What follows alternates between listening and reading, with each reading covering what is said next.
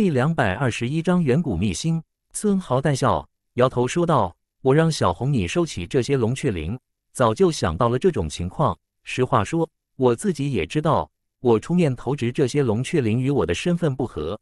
而且，小红你知道我的，我并不想出这个风头，最好别让人知道这些龙雀灵是我找到的更好。”轩辕红笑一笑，放心，到目前为止，仅仅只有沈玉沈师兄知道这事。五虎那里我也特意交代了，让他们不要乱说。而且沈玉沈师兄也不知道具体情况。返回宗门之后，你可以把异阵化形的情报整理一番，形成资料，能换取不少宗门贡献度。孙豪点点头，然后对轩辕红笑道：“还是小红想的周到，如此多谢了。不过小红，关于龙雀灵的投掷，所谓核心层开启之时的道魔之争，我有一些不同的看法。”如果真是如我猜测一般的话，沈师兄并不是投掷龙雀翎的合适人选。道魔之争的不同看法，轩辕红一下来了兴趣。孙豪，你说说，你又有什么发现？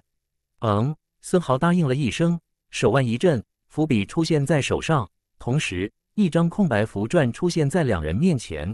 孙豪挥笔，行云流水，几笔下去，核心层龙雀翎的头孔示意图出现在符纸之上。对照着示意图，孙豪说道：“宗门资料记载，是不是以这个点为中心，两边的头孔代表了道魔两种传承？哪边的龙雀灵多，就会开启哪边的传承，是不是？”轩辕红点点头，宗门资料记载的确是如此。那么，孙豪问道：“是不是两边头孔投入的龙雀灵差距越大，所获的传承也会越好？比如青云门投二十枚，魔门投五枚。”差距就是十五枚，而青云门投十八枚，魔门投七枚，差距就是十一枚。十五枚差距的效果是不是会好于十一枚？开启的道门传承会不会更重要？轩辕红点点头，笑道：“宗门虽然没有如此统计过，但是纵观历史，的确是如此。”孙豪微微颔首，果然是如此。看来，也就是说，那边投入的龙雀灵数目越多，开启的传承越是高等。如此问题就来了，什么问题？轩辕红奇怪，这很正常啊，应该没有问题，有什么不对吗？孙豪，据我所知，孙豪沉吟了一下，组织一下措辞，然后说道：“在大夏时期，修士并无道魔之分。如果龙雀秘境真是源于大夏，这不是很奇怪吗？大夏时期并无道魔之分。”轩辕红一时没有反应过来，远古时期，历史真相已经湮灭。到底是什么时候出现道魔之争的？众说纷纭，没有定论。孙豪何以能如此肯定？轩辕红不由问道：“你确认大夏真的无分道魔？”孙豪笑道：“小红，你信我就是。我偶然得到过一本大夏时期的史书，史书记载，大夏时期修士只有正负之别，而无道魔之争。这史书记载，道魔之争出现在先秦后期。这史书的可信度相当高。”应该不会有错，只有正负之别，而无道魔之争。轩辕红奇道：“这个说话挺新鲜，什么意思？”此时，轩辕红心中对孙豪的评价再度加上了高深莫测几个字。这史书从哪里来的？远古时期的史书，孙豪又是怎么看懂的？又是怎么能确定其可信度的？这孙豪全身都是秘密。孙豪没有想到轩辕红的小脑袋瓜子会有这么多疑问。耐心给轩辕红解释，这话的意思是说，当时修士修行有两个方向，一个方向是正能量修行，一个是负能量修行，这就是所谓正负之别。而后在先秦时期，这种正负两种能量修行的修士，因为理念原因，最终演变成了现在的道魔之争。正能量、负能量，轩辕红仔细品味，还真觉得此种划分有一定的道路。孙豪继续解释，当时。大夏修士已经有了魔修的概念，负能量修士已经自称魔修，但是当时的说法是正道是道，魔道也是道，无论正魔，殊路同归，修士逆行，直指永恒。听到这里，轩辕红心中敢肯定，这些资料的可信度真的是相当高，因为这些理论很系统，并有其独特的道理。那么问题就真来了，如果大夏真的没有道魔之争，如何投掷龙雀灵？开启龙雀秘境核心层，就真的值得商榷了。负能量修士和现今的魔道修士虽然是一脉相承，但是在没有理念之争之前，是不应该如此设定针锋相对的头孔的。那么，现在两宗的投掷方式，很可能就和当初龙雀秘境创立者的本意格格不入了。伤脑筋啊！轩辕红有点糊涂了，双眼迷糊，半晌之后开口问道：“那么，孙豪，你觉得正确的投掷方式应该是如何的？”我觉得正确的方式应该是集中所有龙雀灵投掷到正负两方的任意一方，让龙雀灵的总数达到五十枚。孙豪没有迟疑，说出了自己的推测：五十枚全部投在一个方向。轩辕红马上明白过来：“孙豪，你的意思是说，这样的投掷方法开启的传承才是最好的传承？”不错，孙豪点点头。龙雀秘境如果真是大夏大能修士所造化，那么。设置五十枚龙雀灵开启核心层，一来是考验大夏修士的实力能否聚齐五十枚龙雀灵，二来也很有可能是考验大夏修士是不是齐心。只有齐心，才能开启最高等次的传承。听完孙豪的推测，轩辕红也陷入了沉思。轩辕红明白，身为宗门弟子，长期以来无形之中也受到了宗门的影响，有了先入为主的观点。但凡青云门宗门弟子，可以说，从来不会有孙豪如此的想法。这是一种无形的枷锁，锁住了青云门弟子的发散性思维。当然，轩辕红也知道孙豪会有如此推测，固然是孙豪思绪甚密的缘故，但更大的原因却是孙豪的知识储备了得。只有储备了充足的历史知识，才会在此基础之上做出如此判断。第两百二十二章变数一，轩辕红觉得孙豪的推测和判断。很有道理，但是问题来了。正如孙豪所说，这番话如果说给沈玉听，沈玉一定会斥之为歪理邪说，压根就不会听进去半个字。如果孙豪的推测成立，沈玉就并不是投掷龙雀翎的合适人选。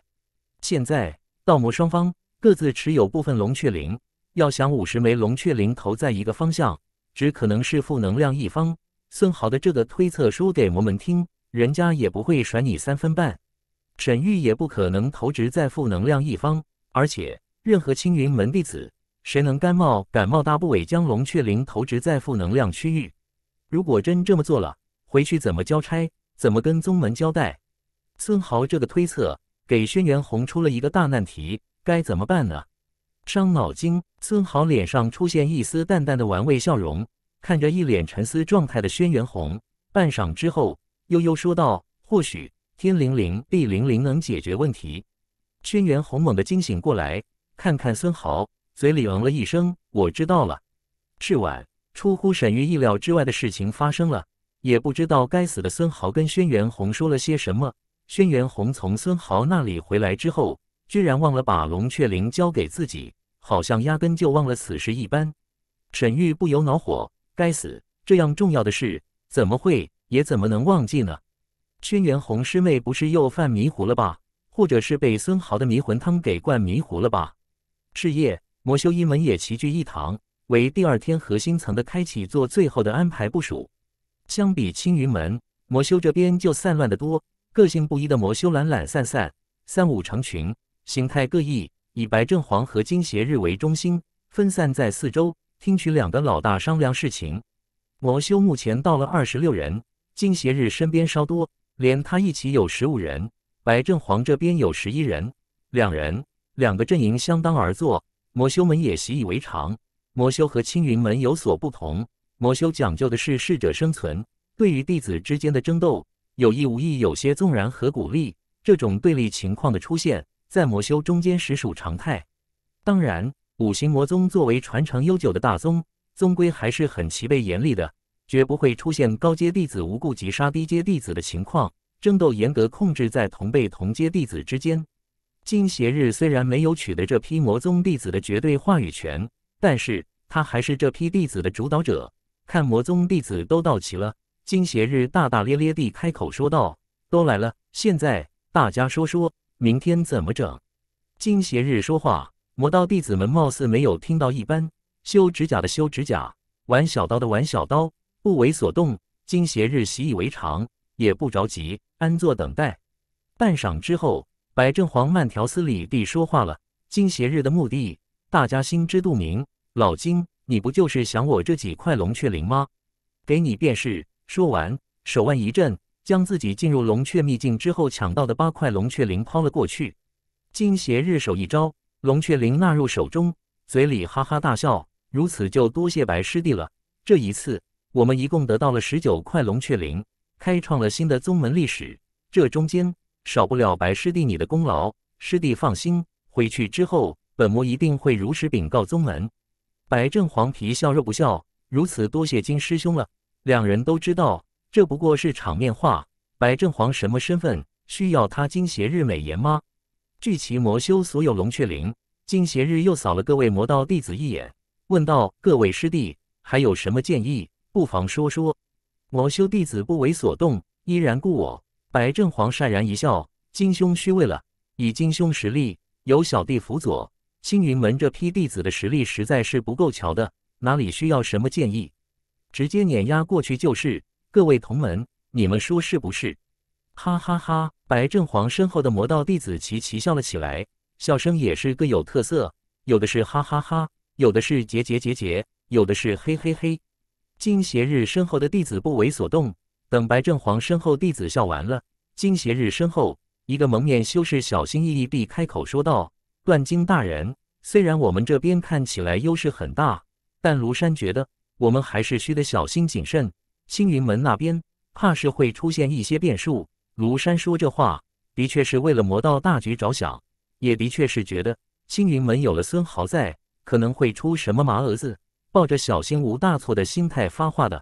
庐山已经前后两次对战孙豪，那一次不是看似有巨大优势，但是最终的结果都是以孙豪大获全胜为最终结局。庐山此时有强烈的预感，这次龙雀秘境。看似没有任何建树的孙豪，很可能就在密谋什么。任何忽视孙豪的人，最终都会吃亏，吃大亏。这是庐山本能的感应。庐山的一番心是好的，但是他没有想到，他说这话的时机不对。他这个时候说这样的话，给魔道弟子的感觉，简直就是跟白正黄对着干。金邪日身后，不少魔道弟子冲庐山竖起了大拇指。这些弟子虽然站在金邪日身边。但是并不想往死里得罪白正黄，没想到这庐山如此看好金邪日，战队很彻底啊！听到庐山说话，金邪日脸上出现了笑容，但并没有说话，似笑非笑，看着白正黄。好吧，你白正黄刚刚说不要把青云门放在心上，我金邪日还没有说话，就有小弟帮我打你的脸了，这脸打的啪啪响啊！白正黄脸上有点发烧，看向金邪日身后。看到黑金蒙面的庐山，开口问道：“庐山，红魔宗庐山。”庐山稳稳坐在金邪日身后，双手一拱：“庐山见过白师兄。”刚刚说话时，庐山倒真是没想那么多，单纯是从大局出发，想提醒一下魔道这边多注意注意孙豪。但是眼前白正黄对自己说话，心思通透的庐山马上明白自己犯了大忌。不过事已至此，只能是一条道走到黑了。第两百二十三章变数二，白正黄脸上出现不愉神色。红魔宗，好一个红魔宗，区区下宗，居然也敢害我二弟陨落在青云门附属宗派手中，真是好样的！庐山一愣，开口问道：“白师兄，二弟是？”白正君，白正黄脸上一脸寒霜。你们红魔宗一个不知天高地厚的名叫雷中的小子，居然生生害死了我二弟，逆境是了。我会让你们红魔宗给我一个说法。哼，雷中血手人屠，什么玩意儿？黑金蒙面，庐山对白正黄的话貌似没有丝毫反应，但是这心中已经是破口大骂，不是好歹的东西。本来为了大局，想提醒你们一下，你们居然是如此态度。既然如此，老子干脆不说了，让你们吃亏，最好吃大亏。狗日的，居然骂雷大哥，你他娘才是什么玩意儿？老子不陪你玩了！金邪日见白正黄恼羞成怒，居然要迁怒红魔宗，不由哈哈大笑，接过话来：“好了好了，以后的事以后再说。白师弟，身为修士，心胸有多宽，道路才能有多远。庐山，你也不要太担心，有我断金在，哪怕是青云门有变数，我自以力断之。”白正黄一晒，没有搭理金邪日。庐山倒是头一低，说了一声：“庐山明白了。”把有关孙豪的情报给吞进了肚子里，不再说话。道魔两边弟子各自修炼，一夜无话。第二日天色放亮，两边弟子御使法剑，齐齐来到了核心区域的入口处。今日需要共同开启核心区，两边弟子难得没有见面就动手。不过剑拔弩张的架势，唇枪舌剑是少不了的。青云门抵达现场的弟子，连同欧阳兄弟只有二十五人，比魔修那边少了一人。两边的士气也有明显区别。五行魔宗弟子虽然看起来很散漫，战队也是零零碎碎，但是各个弟子精神饱满，神态轻松。反观青云门这边，虽然弟子们这很齐整，但除了孙豪等少数弟子之外，其他人都神态严峻，较为紧张。青云门情势不利，战力不足。虽然两宗相约开启核心区域之前这段时间不能争斗，但是如果一方实力太弱，发生什么事就很难说了，也难怪青云门弟子紧张。沈玉、沈师兄，今邪日大不留心，走了过来，开口打招呼：“昨晚睡得可好？”哈哈哈，想必有点劳心劳力吧？哈哈哈。沈玉神态自如，有了轩辕红手中的龙雀灵打底，沈玉心中底气足了许多，心说：“断金啊断金，一会你会大吃一惊的。不过都这个时候了。”轩辕师妹为何还不把龙雀翎交给自己呢？迅速闪过一些念头，沈玉一面淡然对金邪日说道：“有劳金兄挂牵。沈玉昨晚倒是睡得很安稳，就是不知金兄和白兄昨晚商议到什么时候，想必时间不短吧？”点，两人谁也不示弱，彼此挖苦了几句。金邪日不再磨叽，哈哈大笑，手腕一震，十九枚龙雀翎出现在他的面前，嘴里说了一声去。十九枚龙雀灵连成一条线，一枚枚飞向魔道传承之处，然后一一准确无误地看入龙雀灵头孔之内。每看入一枚龙雀灵，这个头孔就放出一阵光华，如同一盏灯被点亮了一般。投出自己的龙雀灵，金邪日看着沈玉，哈哈大笑道：“沈兄，该你了。沈兄，青云门有多少龙雀灵？怕是十枚都没有吧？此次龙雀秘境，怕是只能开启我魔道传承了。”哈哈哈！沈玉脸上也出现笑容。金兄，那可不一定哦。或许我身上有三十枚龙雀灵，也不一定哦。怕是这次金兄要失望了。哈哈哈！大笑声中，沈玉手腕一震，出现六枚龙雀灵。魔修那边，各式各样的笑声大声响起。白正黄大声说道：“沈兄，你真是幽默。六枚，仅仅只有六枚龙雀灵。”哈哈哈！青云门这边。各位弟子面沉入水，脸色很难看。这一回，青云门弟子不仅仅是被奚落了，怕是开启魔道传承之后，必然会有一番苦战，还不知道有多少人能返回青云仙山呢。此时此刻，青云门出发前来龙雀秘境的那股兴奋和豪气，早就化为了过眼云烟，有的只是懊恼和悔意。青云门这边，唯独只有孙豪身边的几个弟子面色如常，五虎的脸上。甚至是有看好戏的贼兮兮的表情。魔修那边随时注意孙豪的庐山，看到孙豪一副波澜不惊的微笑表情，不由心中一突：这孙豪不会又有什么麻蛾子吧？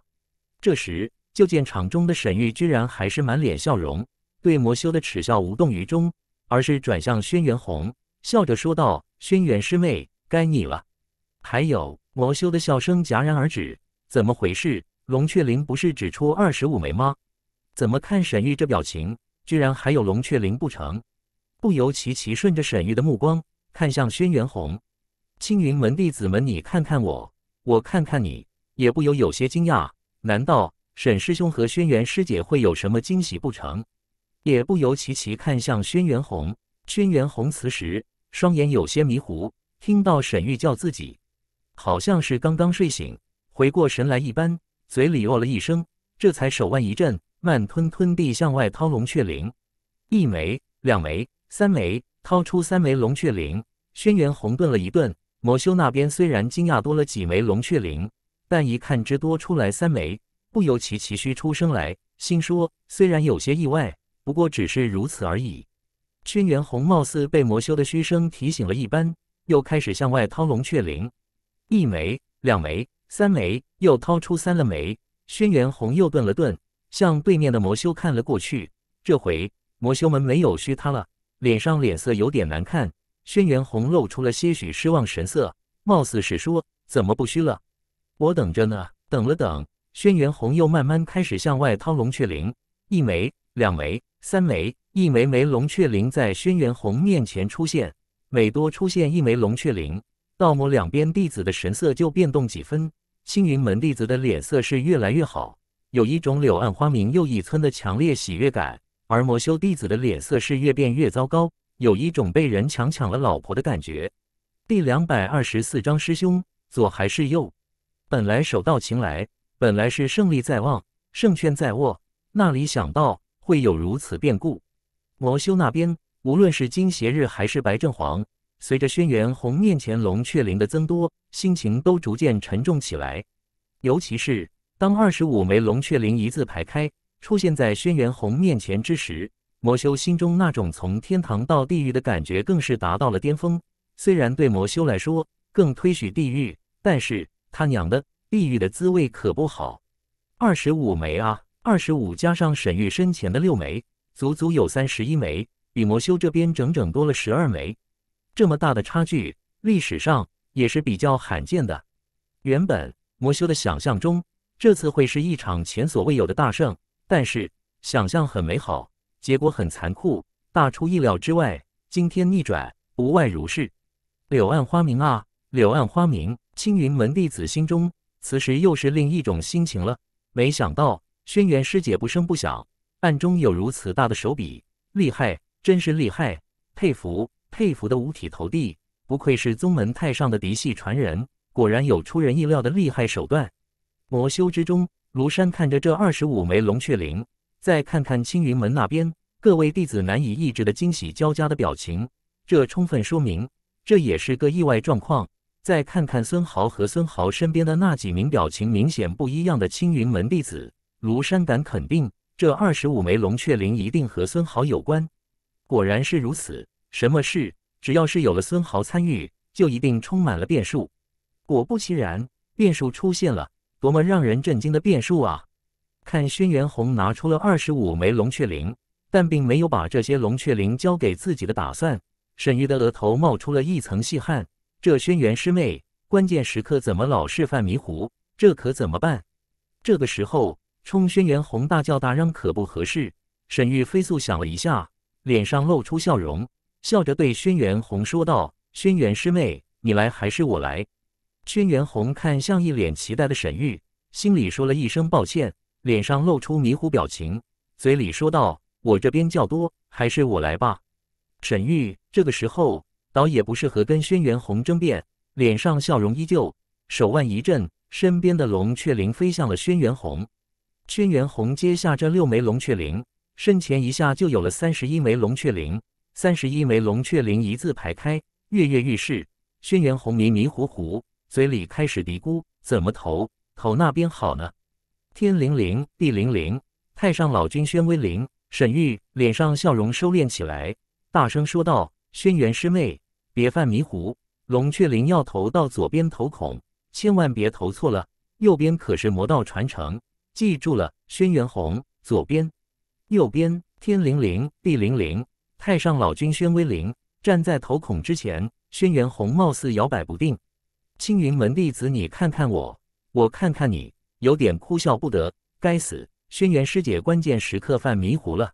五行魔宗那边，魔修，你看看我，我看看你，不知道轩辕红在搞什么鬼？难道这青云门还有什么阴谋不成？只有庐山时刻注意着孙豪的庐山，此时心中又是一图。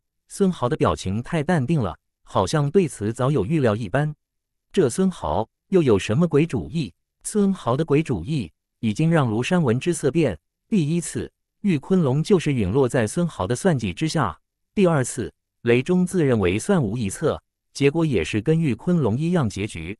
这一次，按道理，龙雀秘境之中，孙豪的算计是没有用武之地的。但是看到一脸淡笑的孙豪。庐山感觉到了巨大的危险，要不是龙雀秘境的传承实在重要，不容错过。这时他庐山早就遁走了。庐山有感觉，凡是遇见孙豪，最好的办法其实就是远远避开。发动老君威灵术，秘术显示，龙雀灵头向右边，魔道头孔那边对轩辕红、对青云门有利。果然，老君威灵术和孙豪分析的结果高度一致。虽然对此结果早有预料，但是此时此刻，轩辕红还是犹豫了。姿势体大，不由他不小心，一旦开启高端魔道传承，一旦传承落入了五行魔宗弟子手中，那么他轩辕红就成了青云门的历史罪人，很有可能青云门也会因此葬送在他轩辕红手中。这是一个艰难的决策。孙豪脸上淡笑，静静地看着轩辕红。这种选择很难。从某种意义上来说，不至于对轩辕红一次道心的考验，是坚持自己的判断，坚信自己不会错，按照老君威灵术预测的方向投掷，还是为了宗门大局，投掷在道修一边，只在轩辕红一念之间，一念天堂，一念地狱，一念一个方向，结局会截然不同。轩辕红的选择不同，对他日后的修炼道路也是有着莫大的影响。魔修看得有些莫名其妙。青云门这边，各位弟子看得额头冷汗直冒，心头祈祷：轩辕师姐千万不要迷糊的方向都分不清了才好，不然就是最大的笑话了。沈玉有点急了，站在原地，开口大声叫道：“轩辕师妹，别迷糊了，快快醒了，道心要稳，道路不能错，快投左边，那边才是正确的，道心稳固，道路不能错。”正在犹豫的轩辕红听到沈玉的提醒。顿时如同醍醐灌顶一般，居然惊醒。是啊，这无疑是对自己道心的考验。双眼之中金光闪过，看向孙豪，却发现孙豪正面带微笑，对自己微微点头。是了，这个孙豪早就知道自己会有如此心态，早就知道自己会犹豫，但是就是没有提醒，而是让自己自行领悟。踏过这一关，自己的修炼会少了许多羁绊。修行之路。当坚持本心，如果正确的道路都不能坚持，想太多又有何意？想通这一劫，轩辕红笑了起来，冲沈玉笑道：“多谢师兄提醒，师妹我明白了，我这就投。”说完，手腕一震，三十一枚龙雀灵旗启动了，飞行头孔。沈玉笑了起来：“师妹明白就好，师妹明白，别，师妹错了，错了，不是那边，哎呀，不是那边。”就在沈玉大声叫嚷这回，轩辕红身前的龙雀翎已经齐齐飞动魔道传承那边的头孔之处，一个不慎地看入了进去。闻听沈玉的哇哇大叫，轩辕红把自己的左手一挥，有点迷糊地说道：“沈师兄，没错啊，你说左边这边不正是我的左边吗？”第两百二十五章沙漠宫。沈玉一看，可不是，自己和轩辕红对面而立，这会挥动的不是左手是什么？不由大急，是不是轩辕红？到底是不是啊？沈玉、沈玉和轩辕红在讨论到底是不是。青云门和五行魔宗的其他弟子此时已经是无话可说了。今日事情一波三折，但是大家都只猜到了开头，而没有猜到结尾。这种结果，所有弟子都想象不到，哭笑不得。只有庐山看到了轩辕红看向孙豪的细节，若有所思。如果他推测不出错。这个传承还不一定对谁有利。很明显，这个开启方式是孙豪所属意的。那么这里边就问题大了。手头资料太少，庐山又不这次魔道弟子的主导者，虽然知道这里边不对，但是也只能自己暗中留意，小心保护好自己。至于其他魔道弟子，庐山就只能为他们祈祷，让他们自求多福了。魔修门大喜过望之余，感觉如坠梦中，结果很好。但显得很诡异，这事很蹊跷，很搞笑。青云门弟子则是扼腕长叹：怎么会这样？煮熟的鸭子居然也给飞了。不过，就算怎么不相信，怎么不愿意接受这个结果，龙雀秘境核心区的开启已经不可逆转。龙雀灵投入之后，核心层入口开始了变化，吸引了大家的目光。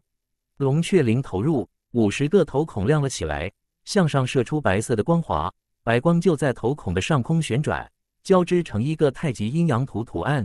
随后，轰的一声，核心层大阵开启，龙雀灵头孔中心之处，好像一扇大门，向两边轰然打开。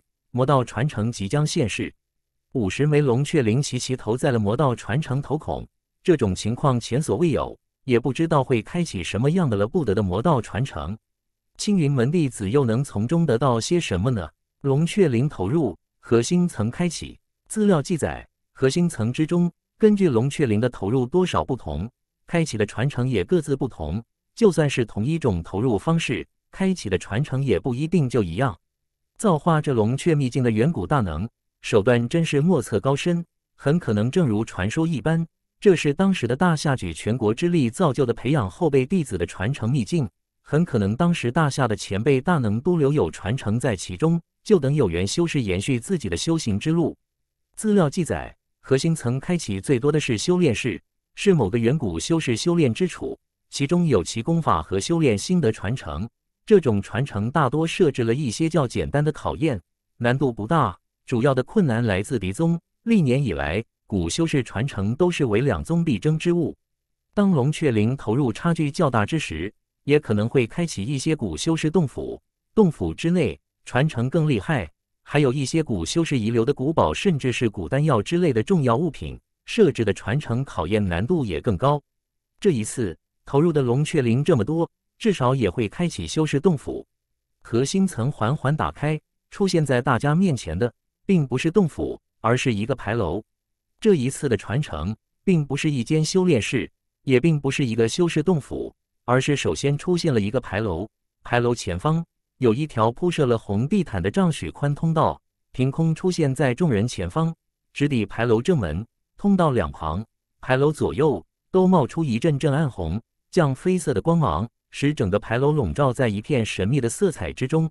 这是一栋三门木牌楼，薄木装地钉，加杆石包住，主子的顶端以灯笼笋直达檐楼的正心形下，与檐楼斗拱连接，上下一气。楼顶用各色琉璃瓦铺就，五彩斑斓。牌楼大气而气势恢宏，尤其是正中主楼，高出两边侧楼一层。楼冠之上，每边有三只弯角向上高高翘起，烘托出中间笔直向上的主角的庄严和大气。这一切的一切，都显示出这一次开启传承必然十分不简单。牌楼正门上方有三个幽暗的古篆字，在暗红色的光线之中若隐若现。各位弟子的眼光纷纷投向这三个古篆字“杀魔宫”。杀魔宫，白正黄哈哈大笑起来。果然是我魔道传承，哈哈哈！这绝对是封号大魔。这回多谢青云门了。杀魔宫，青云门弟子心中顿时一片冰凉。这一回怕是出大事了。孙豪看向杀魔宫三个大字，只觉得这三个毫不起眼的大字之上，一阵肃杀之气扑面而来。心惊胆战的感觉从心底油然而生，身上顿时大汗淋漓，不由自主后退三步。佟丽一把拉住孙豪，关切地问道：“师兄，你没事吧？”几乎是孙豪后退的同时，又有几个盯着沙魔宫桥的道魔两门弟子身不由主的连连后退。金邪日大喝一声：“小心，别盯着那三个字看，别触动了前辈修士的杀机。”孙豪心中一震。这封号杀魔的前辈修士究竟是何等大能？仅凭三个不知道传世多久搭三个字，就让自己等人不得不退避三舍。这时，有修士又大声说道：“快看，牌楼上还有字！牌楼如今夏国境内就不少，其作用远古流传下来就是记事、向导作用。这杀魔宫牌楼有字，应该就是记事功能。也不知道这上边记载了些什么。”有性急的弟子已经开口念道。天地不仁，以万物为刍狗；修士不仁，以百姓为刍狗。天生万物与人，人无一物与天。杀！念到这古杀字，这修士居然声音打颤，嘴里哆嗦起来，仿佛是有大恐惧一般。半晌之后，才接着念道：不忠之人，杀；不孝之人，杀；不仁之人，杀；不义之人，杀；不理不智不信人，奉天之命，杀杀杀！我生不为逐鹿来。千年沧桑大梦还，君臣将相皆如土，总是刀下胡素材。传令麾下三军众，逆天之人立死贵一死。除了念字弟子的大声喘息之声，道魔两边弟子都寂静无声，静静地看着这牌楼，久久无语。远古这位封号杀魔，该是何等杀心？可以想象，当年丧失他手的修士，或者是凡人，不知凡几。杀机灵体，气势滔天，通天杀文念完。在场修士无不胆战心惊，遍体生寒。原本开启杀魔功之后，轩辕红多少心有忐忑，但是此时他发现杀机之下，道魔两门弟子的压力都是一样的。五行魔宗的弟子并没有因为他们是魔修而得到半点恩惠，杀机之下感受到的压力没有少了半分。感受到这一点，轩辕红不由向孙豪看了过去。孙豪看轩辕红看过来，脸上带着淡淡的笑容，冲轩辕红点了点头。第两百二十六章进入魔宫，事情果然是如同孙豪预料的一般。开启顶级传承之后，两边弟子就处在了同一起跑线上。就算是魔道传承，但并不一定就是今日现代的魔修功法。说不定这杀魔的功法很可能是正道的杀伐之道，也不一定。谁能最终得到这个传承，也很难说。看到孙豪的淡然笑容，轩辕红心中顿时安定下来，感觉就算是沙魔宫的杀机，也没有那么可怕了。是啊，有孙豪这颗暗棋在，就算是金邪日和白正皇厉害无比，对上自己和孙豪，怕是也占不到便宜。沙魔传承最终花落谁家，还需要打过才知道。就是不知道这沙魔的传承需要怎么才能获得。根据过往的资料来看，开启的传承越是高等。传承考验的难度也是越大。沙魔宫虽然开启，但想要获得其中传承，只怕是并不容易。金邪日和白正皇也感受到了道魔两门弟子所感受的压力等同，这和以往的情况有所不同。道修那方并没有因为开启的是魔道传承而获得更大的实力压制，一会看样子争斗是免不了了。现在他们对本身这边的实力依然充满信心。虽然没有获得更大优势，有点失望，但是他们可不觉得沈玉或者轩辕红能挡住自己夺宝。如果是修炼师或者是古修士洞府，两边弟子此时怕是都已经早扑进门去了。但是此时大家面前是一个诡异莫测的牌楼，摸不清底细的情况下，两边人马在牌楼前方停了下来。牌楼大门洞开，里边光亮通透，但是就是看不清里边是个什么状况。这种情况下。谁也不敢冒进。沈兄站在牌楼前面，金邪日双手一拱，青云门的龙雀灵较多，这牌楼还是你们青云门先进吧。沈玉感受到魔修和道修一样，也受到杀机的等同压制之后，心态已经从刚刚轩辕红投错方向的巨大震惊之中恢复过来。闻听金邪日让自己这边先进，本来就不爽，此时更是不由火冒三丈。断金魔，别说这些好听的。想让我们青云门先探路，门都没有。金邪日哈哈大笑，既然青云门不愿意先进，那么就让我们先来吧。白师弟，你先还是我先？白正皇桃花眼紧盯金邪日片刻，然后才说道：“金师兄既然想挑头，那么还是你先进。”金邪日哈哈大笑，那就让我第一个吃螃蟹吧。说完，扫了身后跟随的魔修一眼，大声说道：“相信我的就跟上。”哈哈哈，说不定第一个进入会有不少好处呢。金邪日身后魔修们大声说好，紧跟金邪日就欲进入沙魔宫。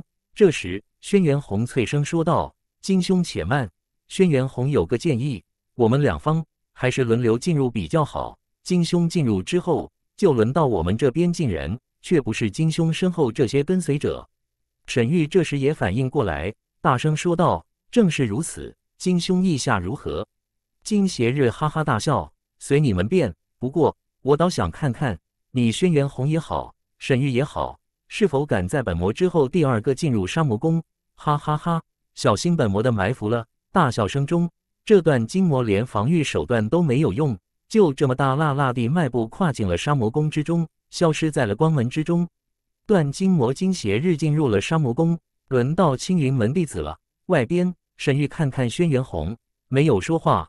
按道理，金邪日之后应该是他沈玉才是，但是沈玉是真心有点怕中了断金魔金邪日的埋伏。平时对上金邪日就已经相当吃力，这个时候进去可是很不利。轩辕红看了一眼没有进入意图的沈玉，心中不由又暗自摇头。如此性格，修炼之路怎么走得远？不过这个时候也不是跟沈玉计较的时候。轩辕红稍一沉吟，开口说道。孙豪，你先进，居然是孙豪！轩辕红师姐居然让孙豪第二个进入，青云门弟子不由心头讶异。难道说轩辕师姐认为孙豪的实力还在沈师兄之上，还是轩辕红害怕青云门受损，故意派实力较次的附属宗门弟子呢？不过结合轩辕红和孙豪的关系分析，显然是轩辕红很看好孙豪。那么，希望这孙豪不会丢了青云门的脸，不会刚刚进入就被段金魔斩落刀下。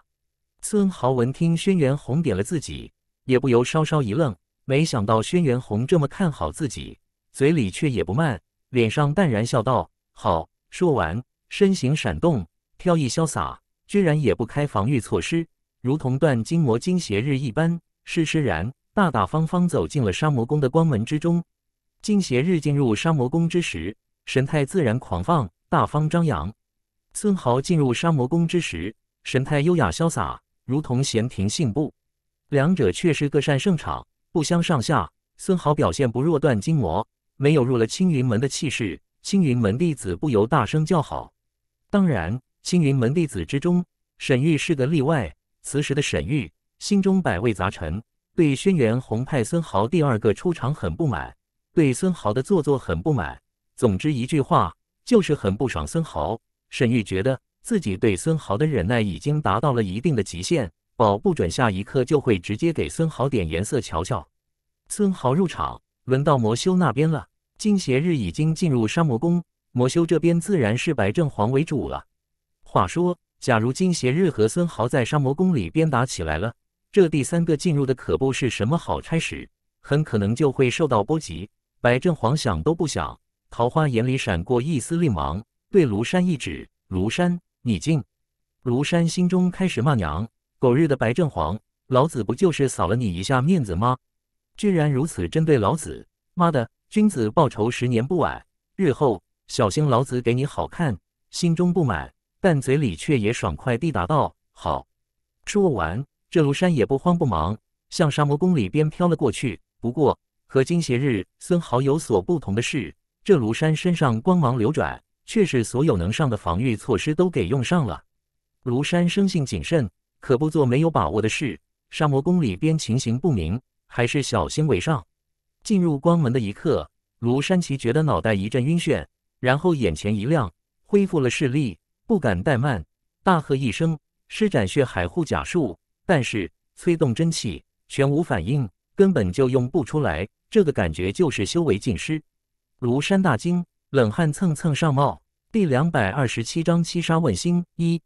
这时他前面不远处，断金魔金邪日的声音传了过来：“庐山，稍安勿躁。”庐山循声看了过去，就见金邪日四平八稳端坐在不远处，神态自然悠闲。而他的对面不远处，孙豪也自然盘坐。同样神态安详，此时正一脸淡然地微笑看着自己。看到孙豪的目光，庐山心中一突，他敢肯定，这孙豪一定知道了自己就是曾经的玉四。看来在这沙魔宫中，自己的小心翼翼了。多谢段金大人。庐山拱手对金邪日道谢，然后很自然地走到段金魔身后，盘膝而坐。他坐的位置刚刚好，他坐下之后。整个人的身体就置于了断金魔高大的身躯之后，恰好挡住了孙豪的视线。坐在段金魔背后，庐山看着段金魔高大的背影，心中快速分析。庐山以为这龙雀秘境之中的修士，论智慧高下，可分三类：第一类，先知先觉，会根据情报准确判断事情走向的高智修士，比如现场的两位段金魔、金邪日、沉香剑、孙豪都是这一类。估计外边的轩辕红也属此类，他们应该都判断出进入杀魔宫之后不会马上有危险，不然金邪日和孙豪不会如此大方随意。第二类就是后知后觉的修士，这类修士不能提前预知和判断事情的走向，但是事情发生之时或者发生之后，往往能想清楚其中缘由。庐山觉得自己就是这一类修士，比如这次只有进入之后。庐山才想明白，原来杀魔宫既然是传承所在，自然不会第一时间就急退前来获取传承的后辈弟子，想必开启考验之后才会真正出现危险。庐山认为，沈玉还有白正皇顶多就算是第二类修士，他们的修为虽然较高，实力较强，但是庐山觉得，就智慧而言，两人或许不及自己。还有第三类修士，就算那种后知不觉的修士。这类修士都是那种不动脑筋、随大流、见招拆招的货色，别的修士不敢肯定，但是青云门所谓五虎，一定就属这类修士。庐山胡思乱想，这会青云门第二个修士进来了，不是别人，却是佟丽。佟丽进入之时，身上也开启了防御罩。进入这里之后，佟丽的表现也比庐山强了许多，并没有手忙脚乱给自己加防御，而是迅速在这室内扫了一眼，一眼就看到了一脸笑容的孙豪。师兄，我来了。佟丽憨然笑着走向孙豪。孙豪点点头，嗯，来了就好，坐。估计人到齐之后，考验才会真正开始。好，佟丽很自然走到孙豪背后，盘膝而坐。随后，道母两宗弟子陆续进入，表现各自不同。庐山无聊地坐在段金魔身后，不停给这些进入的修士打分，把他们归纳进自己的三类修士之中。果然，正如庐山猜测的一般，修士之中进入没开防御，自然进入到这里的，也只有轩辕红。沈玉还有白正黄确实都动用了防御措施，表现比孙豪、段金还有轩辕红差了许多。沈玉是青云门最后压轴进入的修士，不过他进入之后定神下来，一眼看到青云门的阵营之时，眉头不由皱了起来。原因还是孙豪，孙豪坐的位置不对，坐了原本他沈玉该坐的位置。就见孙豪盘膝而坐，坐在整个青云门弟子的正前方。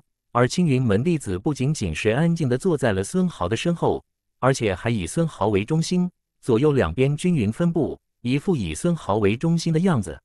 而轩辕红仙沈玉一步进来，他却是很自然坐在了孙豪左手位置。现在沈玉来了，如果沈玉愿意，他完全可以坐在孙豪右手位置。不过，让沈玉很不爽的是，如果他如此就坐，那么孙豪就真正成了青云门的核心。而他沈玉和轩辕红好像就是孙豪的左膀右臂，这孙豪还真是不知天高地厚，恬不知耻，居然想当老大。沈玉这番想法却真是冤枉了孙豪，孙豪也没想到事情会搞成了这样。问题还是出在前面进入的青云门弟子身上。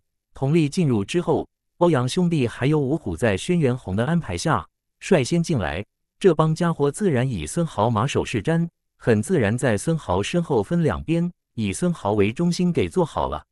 后边青云门修士进来，他们的排位还在五虎之后，平时又没少被混不讲理的五虎欺负，自然不敢坐在五虎前面，很自然也就按照五虎的方式，以孙豪为核心，两边给坐下了。最终结果就是孙豪貌似坐了沈玉原本该坐的位置，这不好，很不好。沈玉眼珠子转动，很不爽，然后。也不去孙豪右手位置落座，而是三步上前，紧挨轩辕红坐了下去。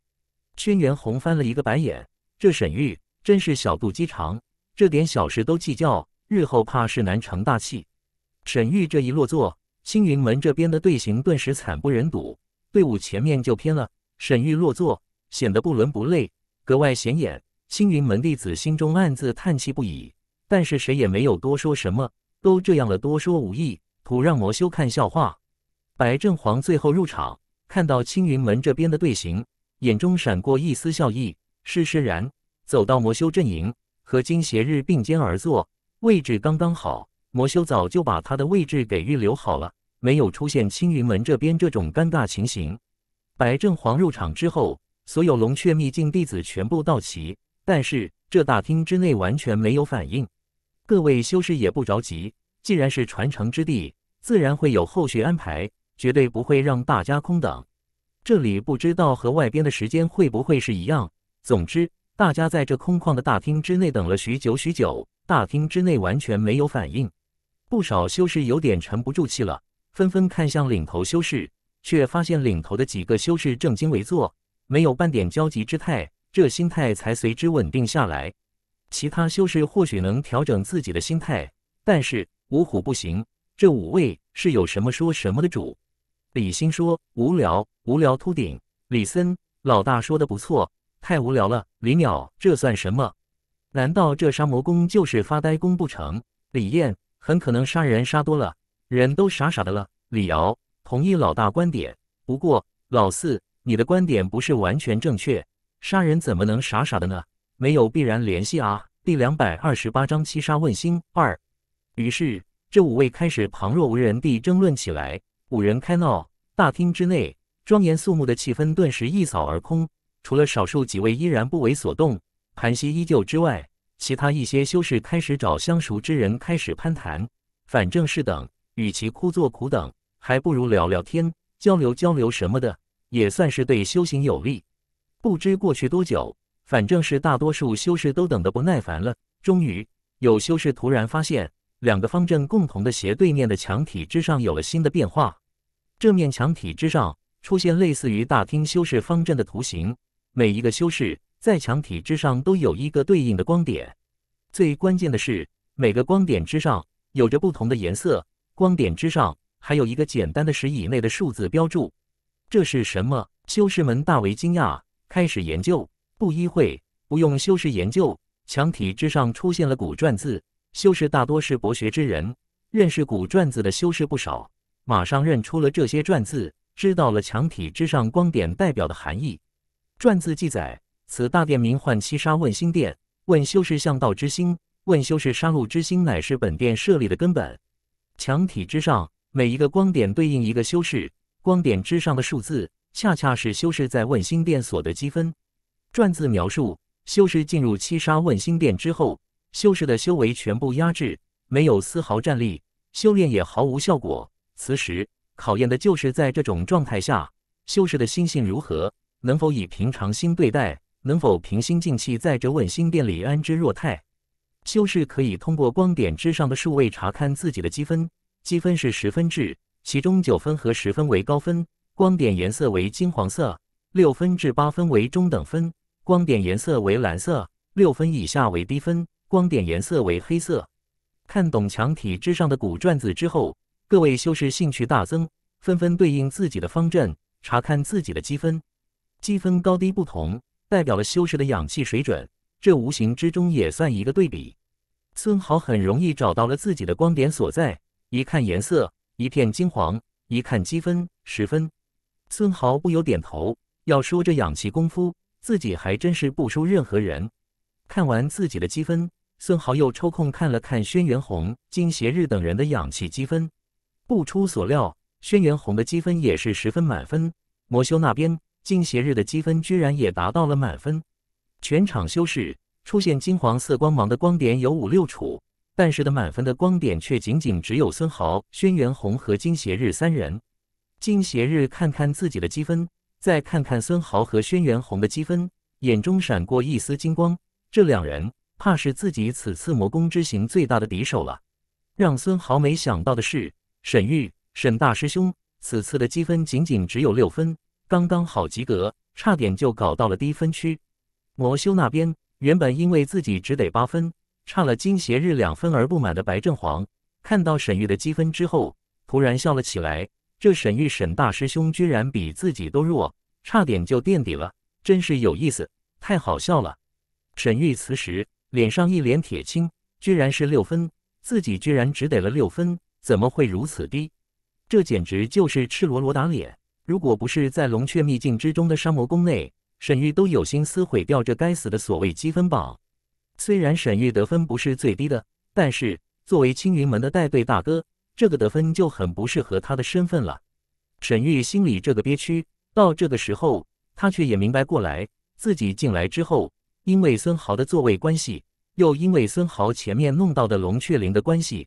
心中一直不是很平静，憋住一口气，心态能好才怪。这不就刚刚跨入及格线而已，心中虽然难受，但沈玉毕竟是青云门培养多年的弟子，想通这个道理之后，心态竟然开始平和。孙豪虽然讨厌，但是也算是给自己敲了警钟。如果再这样下去，自己就不仅仅是心态积分偏低了，很可能所谓的问心殿问心都会积分不过关。最终的结果就是错失机缘。正常情况下，有了这种感悟，对沈玉来说也算是一种收获。如果沈玉能从对孙豪的敌视之中走出来，或许真会就此走上修炼的坦途。但是，修士一生充满了荆棘不平。就在沈玉心态逐渐平复的时候，好死不死，五虎兄弟的大惊小怪再次让他的心不平静起来。李欣，我们居然得到了八分，高。不是一般的高，李森真的也，我们兄弟都是八分。话说，他们李氏五虎是整个问心殿闹得最凶的，声音最大，问题最多，最不知收敛的就是他们五兄弟。但是他们的心态的分居然达到了八分，还真是出乎意料之外。五兄弟很得意，很得意，话就多。李淼，哇，快看，快看！孙老大和小红都是十分呢。几兄弟纷纷看去，大声称赞：高，的确是高。李艳，哇，快看，快看！沈玉沈老大居然只得了六分呢。什么？几兄弟纷纷看去，并开始大声议论：李星低，确实是低，不过这也是他的正常水准。哇哈哈吼！李森惨不忍睹。李淼，他就这水准。李艳丢脸了。丢了青云门的脸，一直没有说话的李瑶这时说道：“我觉得沈玉沈老大才是真正的高人。”怎么说？几兄弟如同唱戏，齐齐问道。李瑶摇头晃脑，一直问新弟：“你们看，沈玉沈老大的光点是不是跟我们一样颜色？”几兄弟一看，还真是，大家的颜色都一样，是蓝色光点。李瑶得意地说：“所以哦，对中等分来说，六分和八分那是一个档次。”一个待遇得八分有点浪费了，进入中等分只要六分即可，能把自己的积分控制在六分，沈玉沈老大才是真正的高人。这叫什么来着？李欣摇头晃脑，配合地说道：“这叫六分万岁，七分大浪费。”哇哈哈哈吼！沈玉被五个浑人如此调侃，心中一股无与伦比的郁气冒了出来，心态怎么也平静不下来了，心头暗暗发狠。孙豪、五虎。我一定不会放过你们的，咱们等着瞧。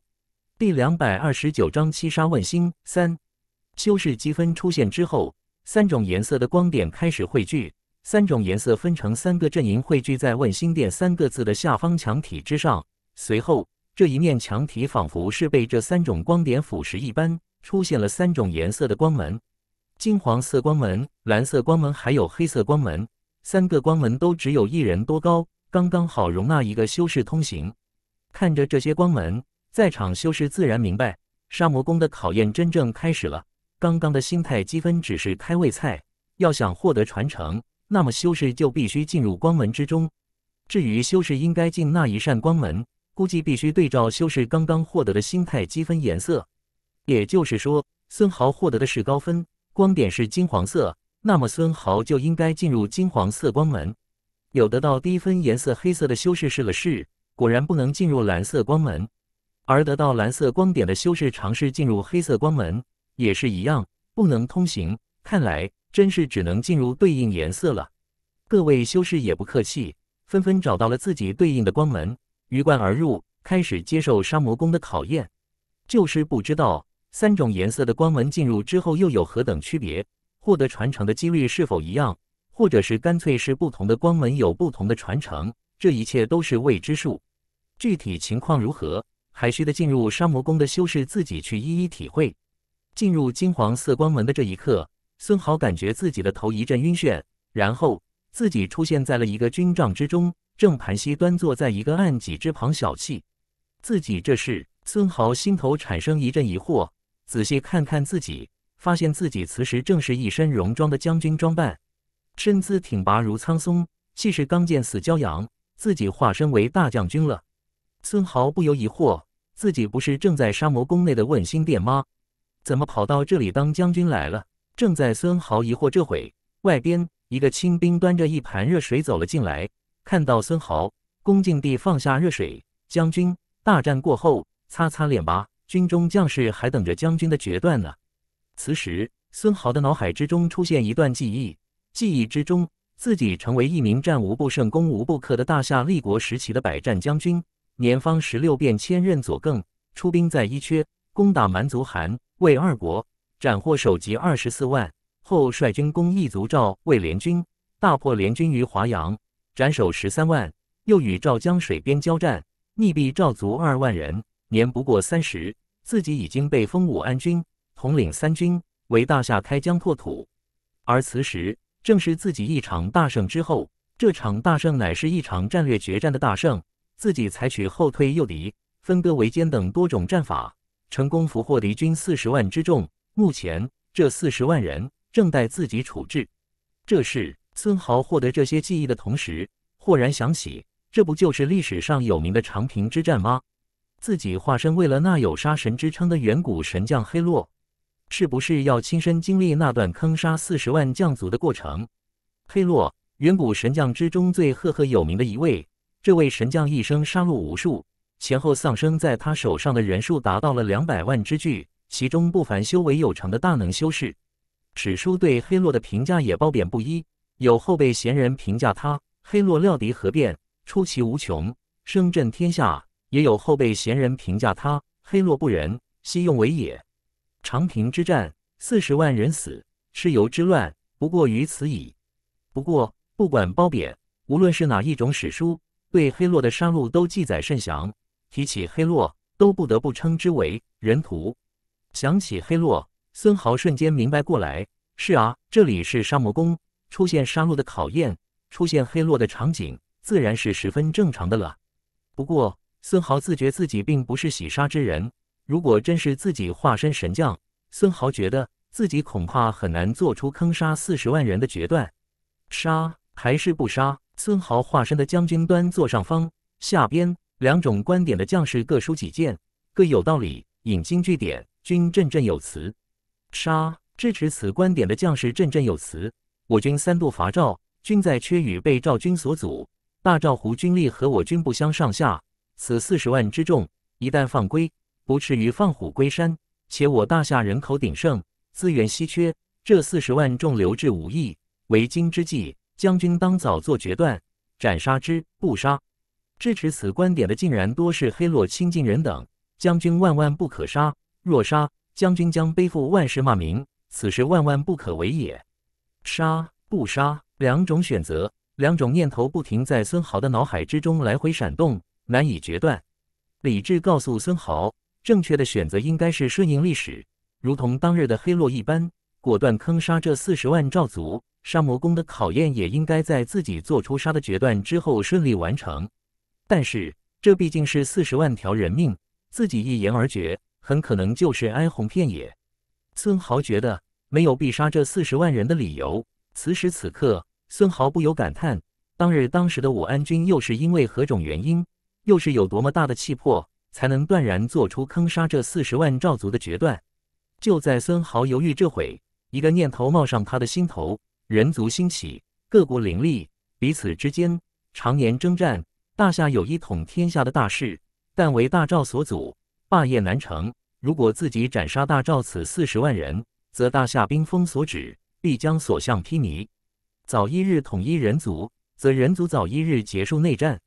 或许自己会背负千年骂名，或许自己会心怀歉疚，但是虽千万人，吾往矣。孙豪化身的黑洛从暗戟之旁挺身而起，大手一挥，斩钉截铁地说道：“传令下去，杀！”孙豪心中马上知道，原来这才是当日当时黑洛神将甘被万世骂名也要坑杀这四十万人的真正原因吗？孙豪此时替代了黑洛的思想，如果孙豪不愿意，由他控制的黑洛也做不出坑杀四十万人的决断。但是黑洛的这个念头。这种为人族大义而做出的决定，说服了孙豪，让孙豪做不出阻止的动作。军令终于传达了下去。坑杀四十万赵族，第两百三十章七杀问心四千里连营，旌旗招展，明刀亮剑，肃杀连环。四十万赵族坑杀，站在高处眼望赵族埋身之处，孙豪化身的黑洛凝视久久，半晌之后，悠悠叹道：“漆灰古墨丹水沙。”七七骨血生桐花，白灵金丹雨中尽。至于三级残狼牙，仿古顽兰收断足。折风赤问曾贵肉，一将功成万骨枯。坑杀四十万人，是非功过，自有后人评说。悠悠诗歌之中，孙豪豁然醒来，发现自己此时又出现在了龙雀秘境之中，回到了问心殿内。这一间问心殿显然并不是先前那间，这一间问心殿要小了许多。里边的设置也与第一间有所不同。这一间问心殿内设置了十个蒲团，墙体之上的古篆字显示，这些蒲团名为杀道蒲团，乃是七杀问心之后的奖励，作用是能帮助修士参悟杀戮之道，习得杀戮秘法，或者是直接领悟杀戮传承。修士每通过一次七杀问心的考验，都有一次机会坐上杀道蒲团。篆字表示。后辈修士要想获得杀戮秘法或者是杀魔传承，只有通过全部七杀问心考验，并登上每一关的杀道蒲团参悟，然后才有可能获得领悟或者是传承。孙豪出现在这间问心殿之后不久，陆续又有修士通过大门进入了此间。不一会，这间问心殿内就有了二十多名修士。让孙豪觉得意外的是，这二十多名修士居然是不同光门里边进入的都有，比如。孙豪比较关心的白正黄，还有一直看孙豪不顺眼的沈玉，都出现在了这间问心殿内。那么，孙豪不由疑惑起来：三道颜色的光门会是何种用意呢？还有就是佟丽、轩辕红他们为何没有出现在这间问心殿内呢？最关键的就是问心殿内一共只有十个蒲团，而现场修士达到了二十多人，该如何分配？要想获得传承或者是秘法？就必须登上每一关的杀道蒲团。那么，孙豪扫视了问心殿内一眼，争斗就不可避免了。问心殿内一共二十三人，其中魔修有十二人，青云门弟子十一人，欧阳兄弟也在其中，已经很自觉地站到了孙豪的身边。大家进来之后，都看到了墙体之上的古篆字，都明白了，接下来就是十个杀道蒲团的争夺。篆字表明。登上杀道蒲团并成功做住一炷香时间，才可以真正获得此蒲团的使用权，可以安心领悟。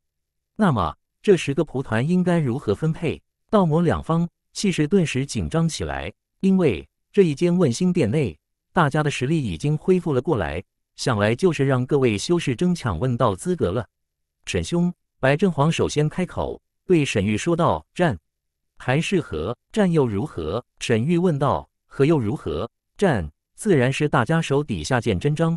白正黄桃花眼里闪动金光，那一边胜了，自然是取得领悟蒲团的使用权。至于和，那就更简单了，一方五个，各自安排，是战是和，沈兄一言可决。我白正黄奉陪到底。从人数上来说，魔修占据一定的优势；实力上来说，双方却是相差无几。白正黄和沈玉相差不多，真要对战起来。估计一时半会结束不了。白正黄觉得问心殿可能不止一处，不想两边大打出手，浪费时间，是故有此建议。是战还是和？沈玉对自己这边看看，再看看魔修那边，开口说道：“白兄，我们两宗实力相差不大，真要对战，估计难分胜负。我看就依白兄所言，我们一边五个蒲团，各自安排。”闻听两人交谈。孙豪脸上一直有淡淡笑容，见沈玉选择讲和，孙豪突然淡然说道：“沈师兄，我倒是觉得我们青云门局面占优，不妨一战，若胜可全的十个悟道蒲团，那样多好。”孙豪建议：“不妨一战。”沈玉一听，眉头皱了起来。白正黄听到孙豪说话，不由向孙豪看了过来，桃花眼中寒芒闪闪。“不妨一战，真是大言不惭。”孙豪，来自夏国的修士，参与了夏家任务。孙豪，我这里有个疑问，不知道我弟弟白正军的死可与你有关？孙豪淡然一笑：“白正军，山羊胡子白正军，不瞒白兄，此人正是陨落于孙豪之手。”白正黄脸上一阵抽动，终于找到了正主子，浑身气势大涨，恶狠狠地看向孙豪。孙豪不为所动，淡然笑着，对白正黄的气势视若无睹。反而看向沈玉，沈师兄，孙豪的建议，你觉得是否可行？点。沈玉眉头一皱，一伸手冲白正黄做了一个且慢的手势，嘴里说道：“白兄别发怒，如果沈玉猜的不错，段金他们此时应该就在另一间问心殿。我们此时争斗，平白浪费了时间。孙豪，你的建议不可取，还是算了。这次龙雀灵，你做出了贡献，我做主分给你一个悟道机会就是。”孙豪淡然一笑，没有说话，默认了沈玉的安排，但是却向欧阳兄弟递出了一个抱歉的表情。如果孙豪不争，可能他都没有悟到机会，沈玉会主动给他安排才怪。白正黄气势一泄，嘴里说道：“还是沈兄识大体，如此甚好。这样左边五个归我们，右边五个归你们，就这样说好。还有孙豪，希望你在杀魔宫内时刻小心谨慎。”我不会放过你的，孙豪淡然应道：“彼此彼此，白兄你也要小心一点，说不定白正军就在阴曹地府等着你呢。”白正黄怒目一瞪，暴喝一声：“孙豪，你找死！”孙豪，谁怕谁？想来就来！我这两位同伴正好没有悟道机会，白兄不妨放马过来，我接着就是。好了好了，沈玉赶紧打圆场，二位都少说两句，我们悟道要紧。青云门这边，我张文、张武、孙豪还有程树光五人悟道，速度，别浪费时间了。孙豪和白正黄闻言，彼此瞪了一眼，倒是不再争论。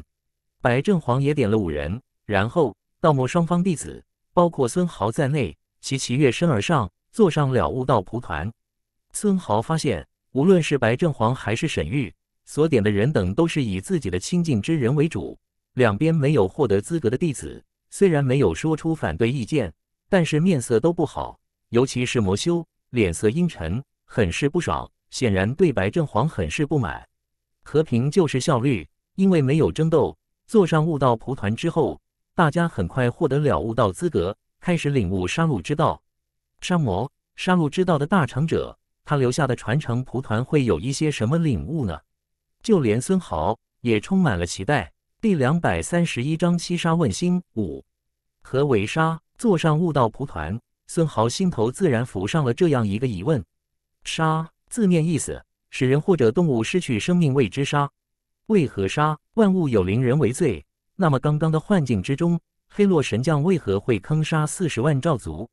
孙豪沉入领悟之中，没有发现自己领悟的方向，恰恰是刚刚幻境经历过的杀戮场景。黑洛神将坑杀赵族之后，为皇帝所忌，为万民所唾弃，最终郁郁而被皇帝赐死。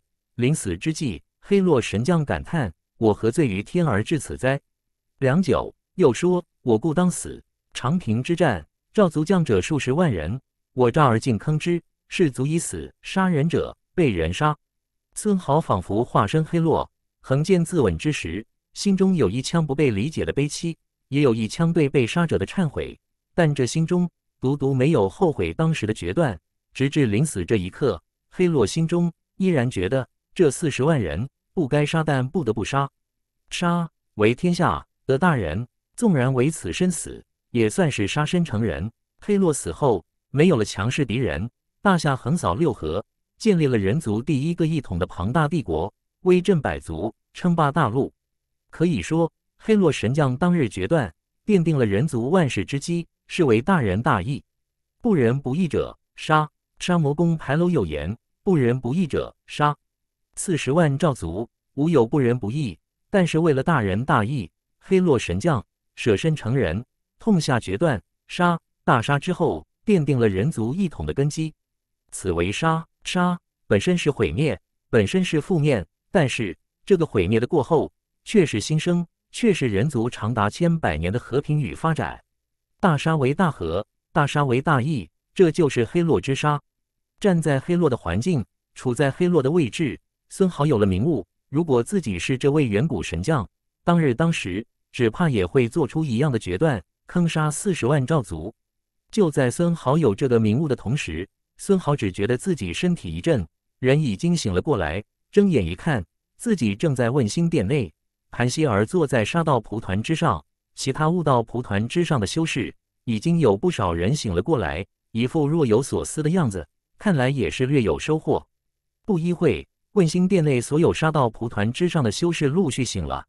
就在最后一个修士醒来之后，问心殿内又有两个光门出现。两个光门，这是什么意思呢？大家齐齐打量光门，发现其中一个光门的上方有一个古篆字“悟”，而另一个光门之上没有字。有修士试了试，发现“悟”字光门只有上过悟道蒲团的修士才能进，而没上过悟道蒲团的修士可以进去没有字的光门。那么很有可能没有字的光门就是杀魔宫的出口了，很有可能没有获得悟道机会的修士就此被淘汰了。在场修士相互看了看，都想到了这种可能。但凡是获得悟道资格的修士，自然不会放弃继续进步的机会，纷纷在其他修士羡慕的眼光之中走进了悟字光门。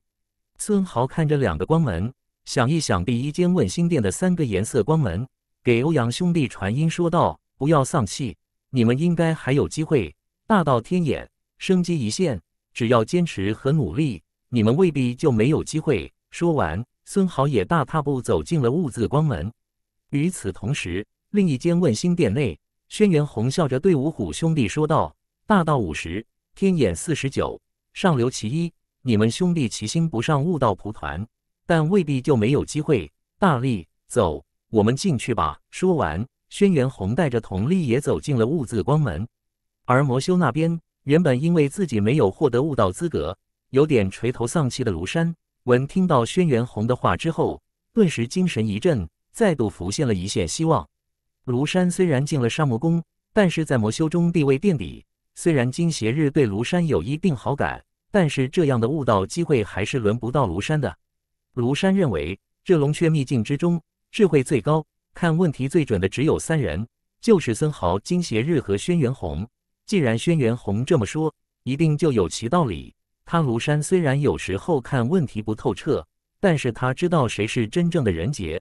这样的话，跟着这些人杰的思路走，大方向就不会错。想通这个道理，庐山振作精神，跨进了没有字的光门。这边，孙豪跨进光门的这一刻，顿时头脑一阵晕眩。然后，孙豪发现自己又出现在了一个幻境之中。这一次，孙豪发现自己化身变成了一个远古判官。大夏唐丁大士，此时自己正一脸庄严，端坐厅堂之上，审判大案要案。此时，孙豪的头脑之中又出现了一些记忆，此次记忆正是此次孙豪需要审理的案件资料。此案案情很明了，但是此案件却并不好判。是年五月，大夏五位炼气修士进入中央高原的石灰岩洞试炼，但当他们深入洞内时，发生了意外。岩石和大阵挡住了石灰岩洞的唯一出口。五位修士发现受困后，就在洞口附近等待救援。大夏组织了一个营救队伍，火速赶往出事地点。由于洞穴偏远险峻，山崩仍在继续，大阵威力难测，营救工作的困难大大超出了事前的预计。而在营救过程中的一次山崩，更是夺去了十名营救修士的生命。与此同时，洞穴内五位元修士的情况也不容乐观。他们随身所带的屁股丹有限，洞内也没有可以维持生命的动物或植物，修士很可能会在出口打通前饿死。就在被困的第三个月，营救修士打通部分大阵，洞外修士通过传音符和洞内修士取得了联络。当被困修士问到还要多久才能获救时，回答是至少还需要三个月。受困修士于是描述了各自的身体状况，然后询问救援者，在没有屁股丹的情况下。他们是否有可能再活三个月？当外边修士给出否定的回答后，洞内的传音符沉寂了。一天之后，传音符恢复，被困修士要求再次与营救修士通话。修士莫尔代表本人以及四位同伴询问：如果吃掉其中一个修士的血肉，能否再活？纵然很不情愿，营救修士还是给予了肯定的答复。此后，洞内就没有再传来任何消息。在修士被困洞穴的第六个月，营救终获成功。但当营救修士进入洞穴后，他们才得知，就在受困的第四个月，修士莫尔已经被他的同伴杀掉吃了。根据四位元获救修士的证词，在他们吃完随身携带的屁股丹后，是修士莫尔首先提议吃掉一位同伴的血肉来保全其他四位，也是修士莫尔首先提议通过抓阄来决定吃掉谁，因为他身上刚好带了一副骰子。四位生还修士本来不同意如此残酷的提议，但在他们获得外界的资讯后，他们接受了这一建议，并反复讨论了保证抓阄公平性的问题，最终选定了一种掷骰子的方法来决定他们的命运。掷骰子的结果把需要牺牲的物件指向修士莫尔，他于是被吃掉了。此案件就是如此过程，很清楚明白的案情，但是很不好判。四名修士吃掉修士莫尔，是否有罪？是否该杀？第两百三十二章七杀问心六。孙豪读书很多，自认为学识不错，但是这个远古时期或许已经发生的案件，孙豪并没有在历史书上发现只字半语。也就是说，这四个修士是否该杀，孙豪必须自己判断并做出判决。这跟化身黑洛神将之时有根本的不同。化身黑洛，孙豪是知道该杀的，只是需要理由说服自己。因为历史就是那样，但是化身这个远古判官大士手头要判的这个案件就完全无稽可查了，必须孙豪自己做出判断，也不知道杀魔宫的考验是杀好还是不杀好。大夏帝国上下对此案件都相当关注。这四名修士是大夏以十名修士的生命为代价换来的，整个营救过程也饱受大夏帝国民众关注。可以说，此时孙豪所化身的大判官唐兵已经成为了整个大夏的焦点，万众瞩目。就连大夏皇室此时也派有代表亲临审判现场，听取唐兵宣判。厅堂之上，唐兵居中而坐，左右两边坐着四名副手判官大士，都一脸肃然，开始审判。四名副手大士观点并不一致，两位副手判官大士主张宣判四位修士有罪。他们认为，任何故意剥夺他人生命的人都必须被判处死刑，此四名修士按律当斩。另两位副手判官大士主张宣判四位修士无罪。他们认为，大约百分之九十的大夏民众认为应该宽恕这四名修士，或仅给予象征性的处罚。民众的态度显而易见，因此审判应该考虑民情。四位修士应该宣判无罪。四位副手意见相左，打成平手，是杀是放，此时全看孙豪化身的唐兵大士应该如何宣判。孙豪开始思考。整个厅堂之中一片肃静，众人都凝声静气，关切地看着孙豪化身的唐兵大判官。杀不杀？此案已经有过初审，初审的判决是四名修士有罪，按律当斩。此时四位副手意见相左，四位修士是生是死，全在唐兵大师一言之间。孙豪思考良久，缓缓睁开双眼，看了一眼充满希冀的四位修士一眼，缓缓开口说道。当我倾向于维持初审判决，我又显得多么荒谬！这些将被处死的人是以十名英雄的生命为代价换来的。说到这里，孙豪化身唐兵大师，大声说道：“我退出对本案的判决。”孙豪退出，不判就是判。四位修士面如死灰，因为唐兵大师退出，四位副手大师打成平手。那么也就是说，最终判决没有结果，没有结果就意味着维持原判。四名修士。按律当斩。是日，四位修士被斩。四位修士脑袋落地的这一刻，孙豪心头又闪过一丝念头：何为杀？为何杀？点旋即，孙豪精神一振，人从幻境之中退了出来，定神一看，自己又出现在了一个问心殿之中。这间问心殿明显不是前面那一间，因为这一间问心殿内只有八个悟道蒲团。孙豪进来不久。陆陆续续又有不少人从这间问心殿的入口处走了进来。不出孙豪所料，欧阳兄弟也再次走进了这间问心殿。直到第十六人进入之后，悟道蒲团亮了起来，显示大家可以开始悟道了。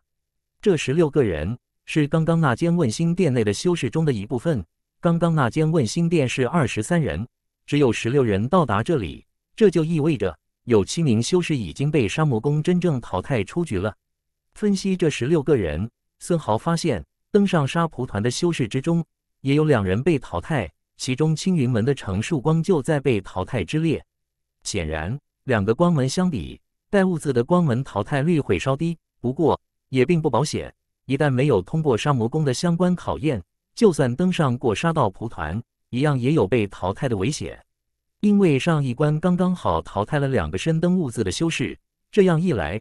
这里的杀道蒲团就很好分配了。孙豪等没有被淘汰的物字修士，自然再度登上了杀道蒲团，开始悟道。又因为两个光门都有机会进入下一关，杀道蒲团的重要性就降低了许多。其他修士虽然心存不满，但是也勉强接受了这个现实。登上这个悟道蒲团，孙豪的心头自然浮现出了刚刚审判的这个案件的领悟：杀还是不杀？最终。孙豪虽然没有做出选择，但实际结果却是不得不杀。那么为何如此呢？大夏乃是人族第一个一统的帝国，立国之后，立有禹刑，下刑大辟二百，并刑三百，宫刑五百，一刑各千。律法乃是约束修士及常人而设。如今的宗门发展千万年，也大多沿用了古刑法的一些规定，比如不准同门相残之类的规定。都是从大夏律令之中演变而来。律令之所以设立，在于规范修士或者是凡人的行为，保护整个人族的社会秩序。四位修士之所以会死，之所以被斩，无他，死于礼法之下。礼法乃是大夏立国之根本，其严肃性、其权威性不容置疑。如果此四名修士不斩，礼法威严何在？如果此四名修士不斩，必然引发情与礼法之间的有一场巨大争论。人族是以情治国，还是应该以礼法治国？这是一个永远争论不休的话题。历史的实践告诉孙豪：家有家规，国有国法，没有规矩不成方圆。人族要想繁荣昌盛，就必须维护礼法的严肃性与权威性。是故，孙豪才有弃权而实际是斩杀四人的决断。此四名修士，杀之于法。为礼法而亡，不礼之人杀。孙豪明悟，杀之也是大仁大义也。明悟之后，孙豪通过兀自光门进入第三个幻境。第三个幻境之中，孙豪摇身一变，便为了汉水河边的一个渔夫。金华有个商人过河时船沉了，他抓住一根大木杆，大声呼救。孙豪所化渔夫闻声而至，商人急忙喊：“我是金华城最大的富翁，你若能救我。”给你一百两金子。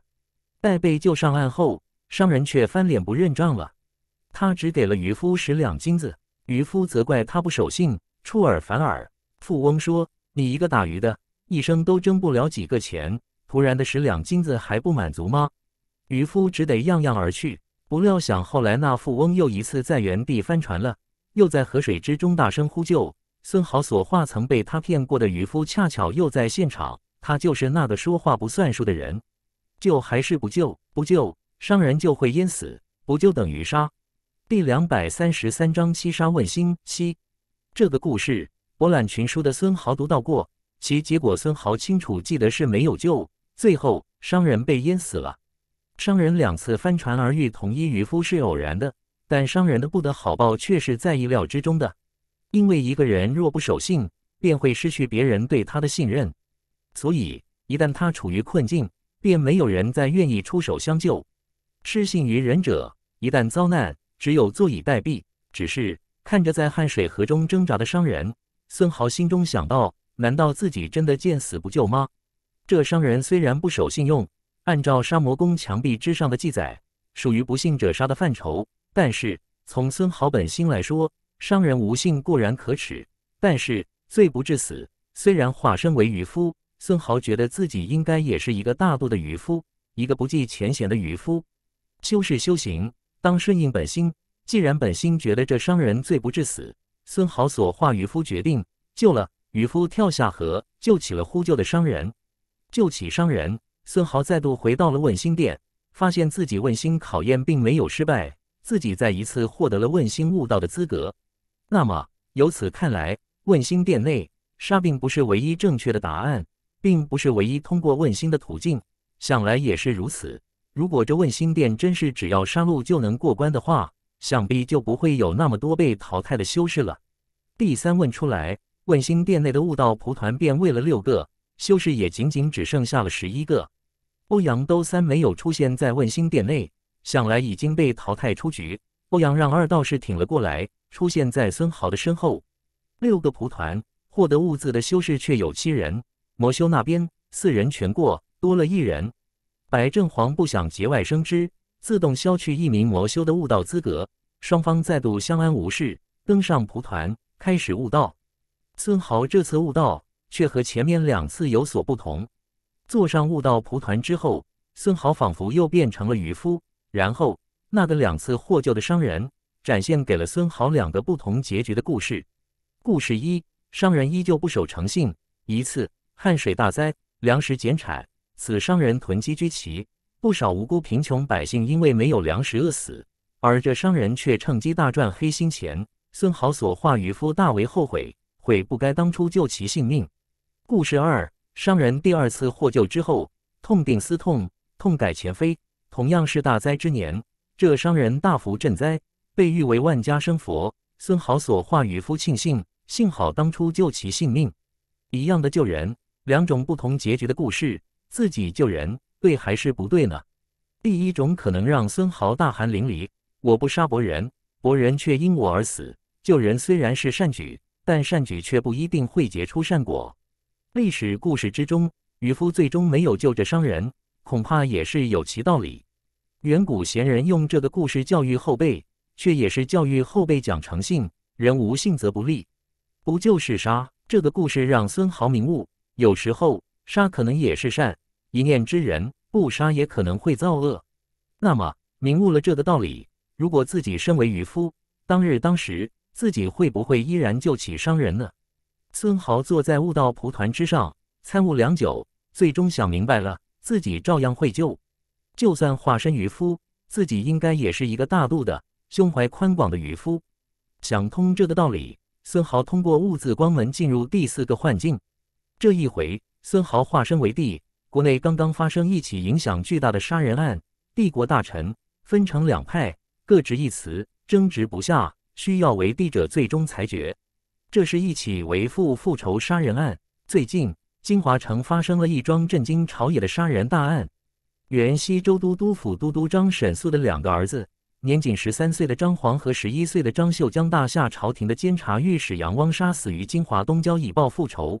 若问事发原因，还得追溯到三年前。西周都督张沈素清廉正直，被部下陈散人诬奏其冒战籍私佣兵。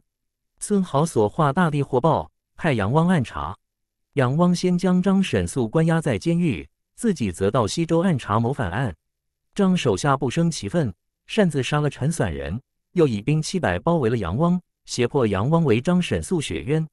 很快，周边军队赶至，杀了董唐礼及其党羽，杨汪得以脱身。于是上奏说是张沈素谋反。依照大夏律令，除张沈素本人处斩以外，张家十六岁以上的儿子全部被处以极刑。两个儿子张煌、张秀因未成年，流徙在外。几年后，二人逃回金华，隐名埋姓，藏匿市中。一天夜里。在金华东郊，二人劫机已经改名万顷的杨汪致死。此案轰动金华，都城侍女都同情张秀兄弟，认为他们年纪虽幼小，却能为父报仇，堪称孝烈。大夏朝廷有不少大臣认为张氏兄弟孝烈，应宽恕，以待死；但也有大臣认为国法不可纵报仇，当依律严办。大夏立国最重孝道，历来大夏国都有百善孝为先的说法，而有史以来。杀父之仇不共戴天，报杀父之仇素来也为大夏修士凡人所理解支持。张氏兄弟为孝，击杀仇人，在大夏修士、大夏民众看来，乃是大善行为。朝野上下认为其情可免死罪的人为数不少。坐在大帝之位上，孙豪思考良久，缓缓开口，大声说道：“孝子为父报仇的情感是义不顾命，可国家制定法，哪能容此？张氏兄弟。”按律当斩。孙豪化身大帝发话之后，年幼的张氏兄弟被绝杀。张秀兄弟死后，修士数名皆伤命之，为他们写作哀垒，张贴于渠路。世人集资敛钱，于此所造一井，并葬张氏兄弟于北邙山。又恐万顷家人报复来发掘，并作一种树处，让旁人无法找到。孙豪所化大帝冷眼旁观，并未阻止。杀魔宫墙题有云：“不孝者杀。”孙豪幻境之中，张氏兄弟大笑，但其情可恕，其行为过激，孙豪不得不杀。就算是树接伤，也是按律当斩。孙豪缓缓消失在幻境之中，又一次通过了杀魔宫的考验，出现在了一间问心殿内。这一次四问过后，问心殿内的悟道蒲团仅剩四个，而通过考验的修士有九人，其中六人都是代悟修士。欧阳让二很遗憾地没有通过考验。已经被淘汰出局。第两百三十四章七杀问心八。不过，不知道这些被淘汰的修士会不会有一些收获或者是补偿。想来，作为培养后辈修士的传承之地，应该不会让进入的修士白来一场。孙豪猜测，很有可能被淘汰的修士会进入沙魔宫不同的宫殿，获取到层次不一的传承或者秘法什么的。而且，孙豪猜测，通过考验的次数愈多。获得的收获应该越大，因为还在沙魔宫内，孙豪不知道自己的猜测是否正确，这需要出去沙魔宫之后才能验证。现在这一间问心殿只有四个蒲团，却有六名悟道修士，矛盾产生了。白正黄桃花眼里闪过一丝金芒，然后开口说道：“两边，一边两个。沈玉有没有意见？”沈玉看看现场，九名修士，魔修那边多了一人。真要开启战端，不一定对青云门有利。看看白正黄，最后再看了一眼孙豪，沈玉开口说道：“如此甚好。”白正黄嘿嘿一笑，很快对身边的一名修士说道：“这回你退出。”那修士点头说好，竟然没有怨言。青云门这边，沈玉看向孙豪，开口说道：“孙豪，觉得怎么安排为好？”青云门是上宗，青木宗旗是附属宗派。沈玉觉得，于情于理，孙豪如果聪明一点，都应该自觉退出才是。听到沈玉询问自己的意见，孙豪脸上出现淡淡的笑容，回答了一句“风牛马不相及”的话。孙豪现年十九。听到孙豪这个答案，沈玉的眉头皱了起来。孙豪报出自己的年纪，看似是和悟道蒲团的归属毫不相关，但是孙豪通过这句话，表达了自己不会拱手相让的态度。青云门的门规之中有这么一条：附属宗门弟子如果能二十岁以前筑基，那么筑基之后是有机会被青云门的金丹真人收为亲传弟子的。现场青云门弟子都是压制修为多年。专门为龙雀秘境而来的弟子，二十岁以下的道士基本没有。也就是说，这些弟子之中，除非有特别关系，日后很难成为真传。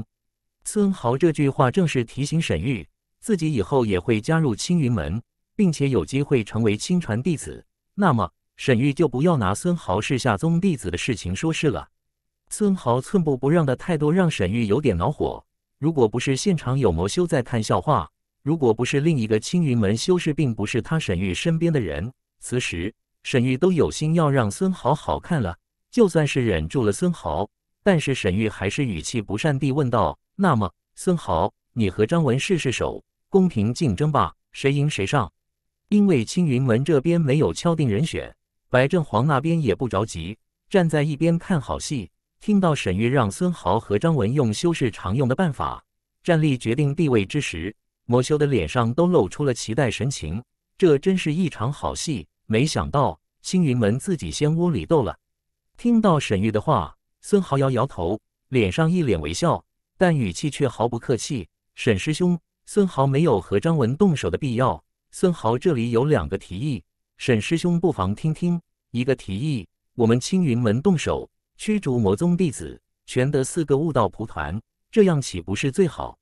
第二个提议。”如果沈师兄实在是不想跟魔修争斗，那么孙豪倒是想试试沈师兄的高招，想讨教一二。孙豪这番话可以说是差不多把这问心殿内修士给得罪光了。魔修那边几个魔修，你看看我，我看看你，有点哭笑不得的感觉。这青云门的附属宗门弟子真是大言不惭，居然想把五行魔宗的弟子当成软柿子给捏了。真要动手，谁捏谁还很难说呢。青云门这边，沈玉的脸上也是一脸铁青。这孙豪真是不知道好歹，居然敢向自己挑战，认为张文不是他的对手，还真是不知道马王爷是否长了三只眼。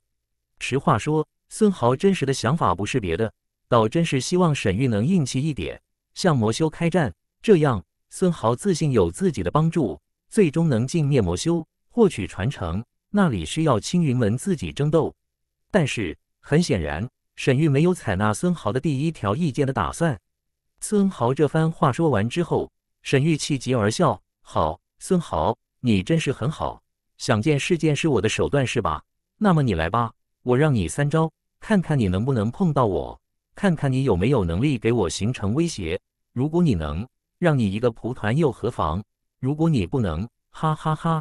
希望你能有点自知之明，让我三招。”看着哈哈大笑的沈玉，孙豪淡笑摇头：“这沈玉未免太自信了吧？不过既然如此，也就别怪我让你难堪了。如此，那我们就这样说好了。沈师兄，小心了！沉香剑起，沈师兄，小心剑直刺。”孙豪背后，沉香剑飞速出匣，在空中带起一连串残影，直射沈玉。孙豪竟然真敢动手！沈玉心说：“找死！”正寻思是否利用这个机会名正言顺斩杀孙豪之时，猛然发现孙豪的沉香剑已经飞速袭来，而且这沉香剑虽然只是极品法器，但是爆发的所谓剑直刺攻击，居然给沈玉巨大的危机感。孙豪这一剑给了沈玉一种一往无前的冲锋感，锐利无比，速度极快。感受到危机，沈玉不敢怠慢，嘴里大喝一声：“玄剑盾，固若金汤。”随着他的大喝之声，他身边出现一把金色大剑，大剑挥动，在身前结成一面盾牌，将他保护在了其中。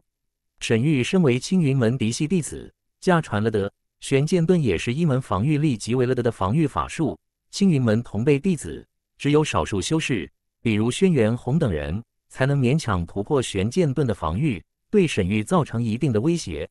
在沈玉想来，一个下宗弟子，就算这所谓的剑直刺看起来锐利无比，但是想要突破自己的玄剑盾，应该也是没有可能的。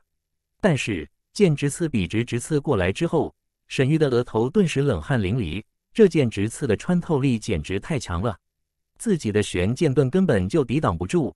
沈玉有感觉，若论穿透力，孙豪这招剑直刺简直比轩辕红对自己的威胁还要大。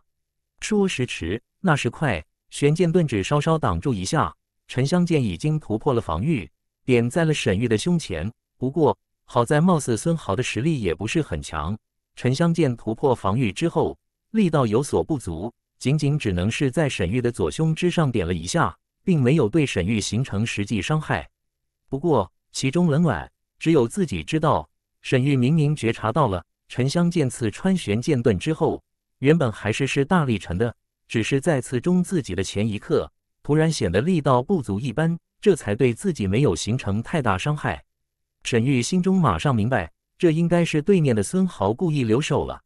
第两百三十五章七杀问心九。现场毕竟有不少魔修，孙豪也不想让沈玉太难堪，这才在关键时刻稍稍留手，没有给沈玉造成太大伤害。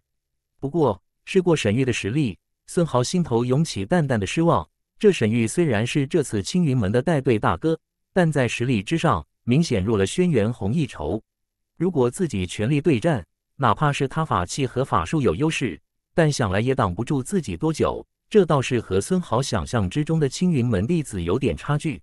在青木宗不少弟子的资料之中，青云上宗就是厉害的代名词，不少前辈弟子的修行笔记都记载了青云门弟子如何如何厉害，这让孙豪长期以来对青云门弟子充满了期待和敬畏。进入龙雀秘境之后，和轩辕红接触之下，孙豪也感受到了轩辕红身上一些诡异难测的手段。感觉青云上宗还真是名不虚传。孙豪为什么要沈亮沈玉，找沈玉动手？实际也是对沈玉的修为充满期待，想看看自己和上宗弟子的真正差距。但是现在这个带队大哥沈玉，有点让孙豪失望了。这沈玉明显不如轩辕红。如果这沈玉没有其他强力手段，孙豪不认为沈玉能挡住自己的脚步。孙豪这番想法，却也不应该。青木宗前辈弟子之所以百般推崇青云上宗，其根本原因乃是自身实力不足。而孙豪呢，万轮皮肤功、炎龙三叠法都是积累雄厚无比的修炼功法。不仅仅如此，孙豪还达到了炼气十二层，炼气完美大圆满筑基，获得了本命小神通。此等机缘，青云上宗也很少有弟子能够获得。无形之中，孙豪的起点已经超过了绝大数青云门弟子。弥补了自身在法器还有法术上边的不足。仅论自身实力，实际是孙豪已经需要青云门弟子们仰望了。实际上，沈玉的实力并不差，历届弟子之中，他算很强的了。要怪，只能怪孙豪的实力太强。而轩辕红固然是身份了得，手段不少，但更大的原因，则是轩辕红和孙豪一样是炼气完美大圆满筑基，加上他本身的厉害传承。自然也会强上沈玉许多，让孙豪不得不高看一眼了。此时此刻，被沉香剑点在胸口，沈玉心头大震。这时，他终于意识到，眼前这被轩辕红推许的孙豪孙沉香，只怕是很不简单。至少对上自己，并不会太落下风。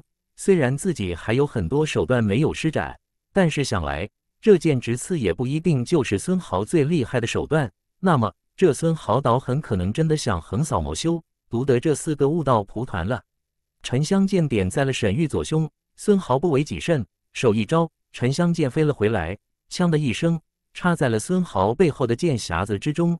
孙豪这才双手一拱，淡然笑道：“沈师兄，如此可好？”沈玉盯着孙豪看了半晌，最终说道：“好，很不错。”沈玉倒是小瞧了孙师弟，如此甚好，悟道蒲团算你一个。张文，你退出。”好，张文应声说道。虽然心中不满，但是张文还是接受了这个结果。沈玉是什么人？他心中清楚知道，只怕是孙豪这一剑已经足够威胁沈玉，不然沈玉不会如此好说话了。沉香剑出，震着沈玉。孙豪第四次登上了悟道蒲团，这一次悟道蒲团之上，孙豪发现自己居然变成张氏兄弟之中的弟弟张秀。此时自己正在临行之前。官府赐予酒食，算是送行。哥哥张皇悲痛不已，无法进食，而自己此时神色自若，说：“行见仙人，何憾之有？复仇不共戴天，杀身已成效。明知杀人必死，但身为人子，张秀以为不得不杀，不得不杀。”孙豪明白并体会了张秀的心情，换位思考，设身处地思考，换做自己是张秀，老父冤死，很可能也会如同张秀一般。铤而走险，视为不得不杀。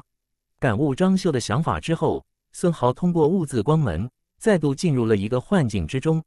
沙魔宫墙体之上古篆字曾经有言：沙魔宫的杀戮考验前后会有七次，根据经历次数的多少，将决定修士最终所获得的收获。如果修士能全部通过七次考验，并登上七次悟道蒲团，就有很大可能会获得杀魔传承，或者是部分传承。孙豪此时进入的是第五个杀戮幻境。这个幻境之中，孙豪发现自己变成了一位远古剑客。剑客一生刃侠豪壮，这一幻境，孙豪化身的剑客路遇不平事，拔剑而相助，纵横大半生，鲜血尽剑柄。时值迟暮，江边酒楼，剑客临江而坐，悠然而叹：“策策秋声起树枝，遥怜塞下雁来时。短剑就曾教侠客。”小诗犹足将偏诗，无情却是青铜镜。刚照书生两鬓丝。此时酒楼之下，有剑侠御剑而至，高声而唱：“赵客漫胡缨，吴钩霜雪明。银鞍照白马，飒沓如流星。十步杀一人，千里不留行。试了拂衣去，深藏身与名。”悠悠诗篇之中，孙豪仿佛回到了少年之时，一怒冲冠，拔剑杀人，见血而走，豪侠任性。悠悠诗篇之中，孙豪醒了过来，发现自己再度回到了问心殿。这一幻境，孙豪过得有点晕，莫名其妙就过来了，就是不知道一会在悟道蒲团之上会有什么收获。孙豪向对面看去，发现这一次的悟道蒲团并不是预料之中的两个，而是有三个。不一会，又有修士陆续出现在了问心殿内。人员到齐之后，通过考验的修士只有六人，魔修四人。青云门这边只剩下了孙豪和沈玉。沈玉虽然有一些不足，但实际上他能当上青云门的带队大哥，无论是悟性还是心性都很不错。前面之所以有些失常，无他，孙豪刺激到了他。但是真正面临考验之时，他稳定心态，严阵以待之后，表现还是很不俗。心态的分只有六分的情况下，他依然通过了第五关的杀戮考验，出现在了问心殿内。不过看到现场修士，沈玉的眉头皱了起来。魔修四人，自己这边只有两人，怕是白正黄没有那么好说话了。白正黄看向三个悟道蒲团，再看看现场修士，脸上浮现出笑容，看向沈玉：“沈师兄，你怎么说？”沈玉马上反问白正黄：“白兄，你觉得呢？我们应该如何分配？”白正黄嘿嘿笑道：“我们这边人多，三个蒲团理应占两个。”沈兄觉得如何？沈玉看看孙豪，也笑了起来。我没意见，我只要一个蒲团，另外两个蒲团谁上和我无关。孙豪也笑了起来。我倒是和沈师兄一样想法，我也只要一个蒲团。白兄觉得如何？第两百三十六章扮猪成猪。与此同时，另一间问心殿内，三个悟道蒲团的归属也开始出现了分歧。这间问心殿内一共有八人，魔修那边。断金魔金邪日不出所料在场，另外还有两名魔修，其中一人居然是庐山。要知道，庐山可是一次悟道蒲团都没有登上，能走到这里还真是奇迹。青云门这边有轩辕红、佟丽、李星、李森，还有梦瑶五名修士。相比之下，倒是轩辕红领队的青云门修士占据了上风。不过，断金魔金邪日很是强势，三个蒲团，我们要两个。不服大家来战，哈哈哈！几乎是同时，两间问心殿内气氛居然紧张，火药味逐渐浓厚，大有一触即发的争斗态势。孙豪和沈玉都不可能退让，白振煌也没有退让的理由。此时，五行魔宗实力占优，如果退让，进入下一关的人数就很难说了。白振煌的一双桃花眼里闪动着奇异的光芒，看向沈玉，笑着说道：“沈师兄，你得到一个悟道蒲团，这是理所当然。但是孙豪又有何的何能能的悟道蒲团呢？你说是不是这样？”白振煌这话确实正中沈玉心思。沈玉心里也觉得孙豪没有资格。孙豪什么身份？一个附属宗门弟子而已，居然也想跟大家争，真是不知好歹。不过心中这么想，沈玉却不能对白振煌的话表示同意意见。如果真那样，突然让魔修看笑话了。白振煌也没想沈玉回话，脸上有着诡异笑容，眼中闪动一光。沈兄，你不妨先上悟道蒲团，我们这边保证不会打扰你。至于孙豪，他不也说了吗？跟你无关，我们和孙豪的事情，沈兄你可以不参与，你看可好？先上悟道蒲团，沈玉心中一动，这也正合他意。闻言不由神情一动，正准备开口答应，就猛地听到孙豪在他耳边大喝一声：“沈师兄小心，快快醒了！”沈玉看向孙豪，心中疑惑：醒什么？自己清醒的很，小心什么？几个魔修都老老实实待着，没有半点攻击打算，需要小心吗？这时，沈玉又听到孙豪朗笑之声：“白兄真是好手段，能让人不知不觉着到。”孙豪佩服。不过，白兄，你如果想就此拿走两个蒲团的所有权，怕是为时过早。孙豪这一关，白兄必须得过了。不知不觉着到，沈玉心中一动，难道这孙豪认为自己着到了？既然如此，我何不干脆装傻？让孙豪先和白正煌斗上一斗。沈玉貌似神游，站在原地一动不动。白正煌这才面带诡异笑容对孙豪说道：“孙豪，想抢悟道蒲团吧？来吧，来吧，试试你是否有资格。”说话的同时，白正煌双眼闪过一丝异光，看向孙豪的双眼。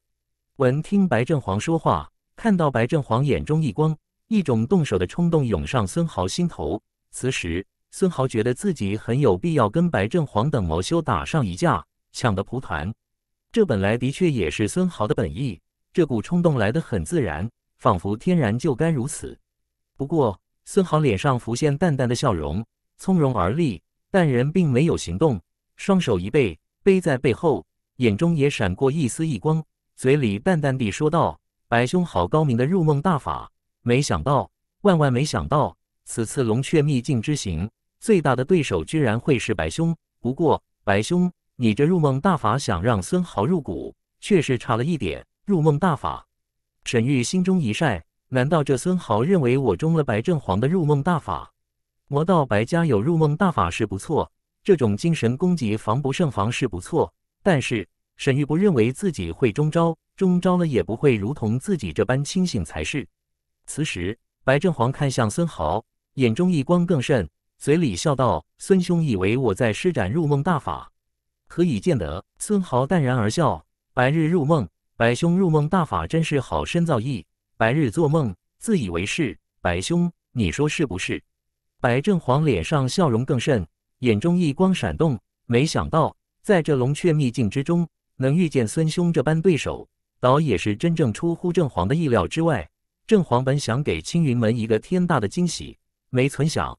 青云门居然有你孙豪这般人物，真是幸会幸会！白日入梦，梦游心生。孙豪脸上带笑，侃侃而谈：“白兄真是厉害，能猜中人的心思，巧妙利用，因人入梦。”孙豪佩服。白日入梦，梦游心生，因人入梦，这是在说我吗？沈玉心中疑惑。白振煌看着孙豪，桃花眼中一光闪动，脸上有着诡异的微笑，但这心中。却是涌起无比强烈的忌惮之意。这孙豪原本不为魔修所留意的孙豪，究竟是何等来历？想他白振煌进入龙雀秘境之后，一直隐忍有加，最厉害的手段一直备而不用，表现出肤浅粗暴，实际不过是想扮猪吃虎。白振煌很期待自己全力出手，强势登场，震折道魔两宗弟子的风光霸气表现，很期待看到两宗弟子无比意外和震惊的表情。但是万万没想到的是，现在自己差不多全力出手了，用出了百家秘术，连对面青云门的带队修士都不知不觉中招了。但是居然出了天大的意外，对面那个出身青云门下宗青木宗的弟子孙豪，居然硬生生扛住了自己的秘法，不为自己秘法所惑。这他娘的，自己想扮猪吃虎，谁想遇见一个更能扮猪的了？结果自己这就不是扮猪吃虎了。简直就成了扮猪成猪了，扮猪是猪，不扮猪了还是猪。白正黄加大入梦秘法的施展力度，强势而上，双眼一光闪闪，不死心，想拉孙豪入梦。白正黄心想：我全力施为，除非你孙豪的神识强度是我的两倍以上，不然你孙豪也不可能挡得住。但是片刻之后，白正黄的头上冒出阵阵冷汗，这孙豪依然不为所动。难道他的神识强度真在我两倍以上？但是这怎么可能？白正黄加大秘法力度，孙豪也感到了巨大压力，精神有点恍惚。如果不是孙豪神识了的，此时已经中招；如果不是孙豪学习过白宫入梦法，对梦境有了一定的控制力，孙豪此时已经中招。第两百三十七章咪鬼子状态，孙豪心中感叹：天下修士果然不能小瞧这白正黄，看似粗浅。没想到居然是五贤朗式的人物，深藏不露，藏得很深。但是好死不死，这白正黄第一次发威，就恰好遇见了自己。这回只怕他要失望了。孙豪并没有如同白正黄期待的那样进入梦境，相反，孙豪的双眼之中也闪动一光，嘴里朗声说道：“白兄高招！”孙豪领教了。不过，白兄想靠这一招困住我青云修士，怕是难成你愿。沈师兄。你现在正在梦中，如果不信，你尝试一下挥手，就会发现异常。沈玉见孙豪说的煞有其事，心中一动，心说：试试挥手。真的啊，虽然自己可以肯定不在梦中，但是挥挥手又有何妨？试试就试试。于是沈玉很轻松的挥挥手，我挥手了，没异常啊。沈玉觉得自己挥手了，没有发现异常，但是他马上精神一紧，眼睛一缩，不对。自己只是觉得自己挥手了，但是真实情况是自己此时并没有挥手。自己到底是挥手了，还是没有挥手？沈玉只觉得自己糊涂了，挥了没挥？怎么会这样？沈玉心头大骇，这种感觉，沈玉很小很小的时候做梦之时有过，就是那种明明自己很用力了，但是就是觉得使不上力的梦中感觉，就是明明觉得自己已经从床上起来了。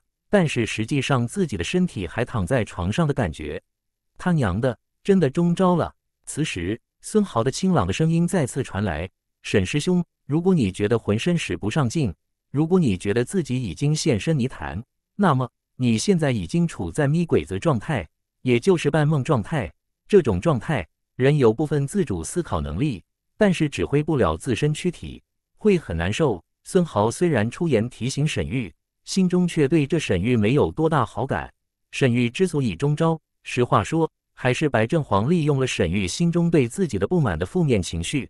这一点，孙豪看得清楚明白。如果不是白正黄的说法正中沈玉下怀，正中沈玉所想所思，或者是说正中沈玉软了，以沈玉的修为，应该不至于如此简单中招。那么由此可以推测，这沈玉心中对孙豪并无好感。人敬我一尺，我方敬人一丈。人若犯我，我必不轻饶。这就是孙豪的处事态度。这沈玉明显对孙豪无好感，甚至是心怀歹意。孙豪没看他笑话，出言提醒与他，已经是相当仁义了。孙豪提醒之后，沈玉发现自己真如孙豪所说一般，进入了咪鬼子状态。他娘的，还真是中招了。原本沈玉的想法是装扮猪看白正黄对付孙豪的。原本沈玉对上白正黄自觉是有优势的，但是此时沈玉发现自己这回还真是扮猪成猪了。他娘的，白正黄葬得好深！这时孙豪的声音悠悠传来：“沈师兄要帮忙吗？”沈玉咬牙切齿，逆鬼子状态之下，艰难地吐出两个字：“不用。”沈玉好像费了好大的劲，几乎是用吼的，但实际是这声音细若蚊蝇。勉强看嘴型才能发现他在说什么。既然不用，孙豪也不多话，而是看向了白正黄。白正黄此时状态也不算很好，他万万没有想到，自己秘法之下，孙豪不仅仅是没有中招，反而是还有能力提醒同伴。白正黄知道自己这次撞中铁板了。进入杀魔宫之后，杀魔宫把进来的修士自动分成了两部分。白正黄原本以为另一边杀魔宫安排给金邪日的对手是轩辕红，这一边安排给自己的最大敌手是沈玉。没想到真正的对手却是孙豪这个青木宗弟子。百日入梦，梦游心生。这秘法有一点不好，就是环境必须相对稳定，而且一经施展，不分敌我都容易中招。百正皇此秘法出手之后，除非是沈玉深陷梦中，而没有人提醒，那时白正皇才能真正出手取其性命。而且随着需要控制修士的增多，秘法的控制力也会有所减弱。这也是白正黄在外边藏着的原因之一。两宗人多之时，这秘法效果并不会太好。此时，白正黄施法的条件倒是满足了，没想出了孙豪这么个怪胎，让他的秘法无功而返。沈玉身为青云门带队大师兄，一身修为了得，虽然无意之间中招，但是孙豪提醒之后，马上明悟过来，心中怒气勃发，居然被白正黄这小子给阴了。沈玉嘴里暴喝一声：“灵光神通法开！”沈玉身为青云门带队师兄，一身秘法自然也非同凡响。在自身神智清醒的状态下，自然有办法破除魔门秘法。刚刚只不过是一时大意而已。随着他这一声大喝，沈玉的身上出现一阵青色灵光，灵光一闪，仿佛是冲破了沈玉身上的一层枷锁。沈玉双眼一睁，目似铜铃，瞪着白正黄：“白兄好手段！”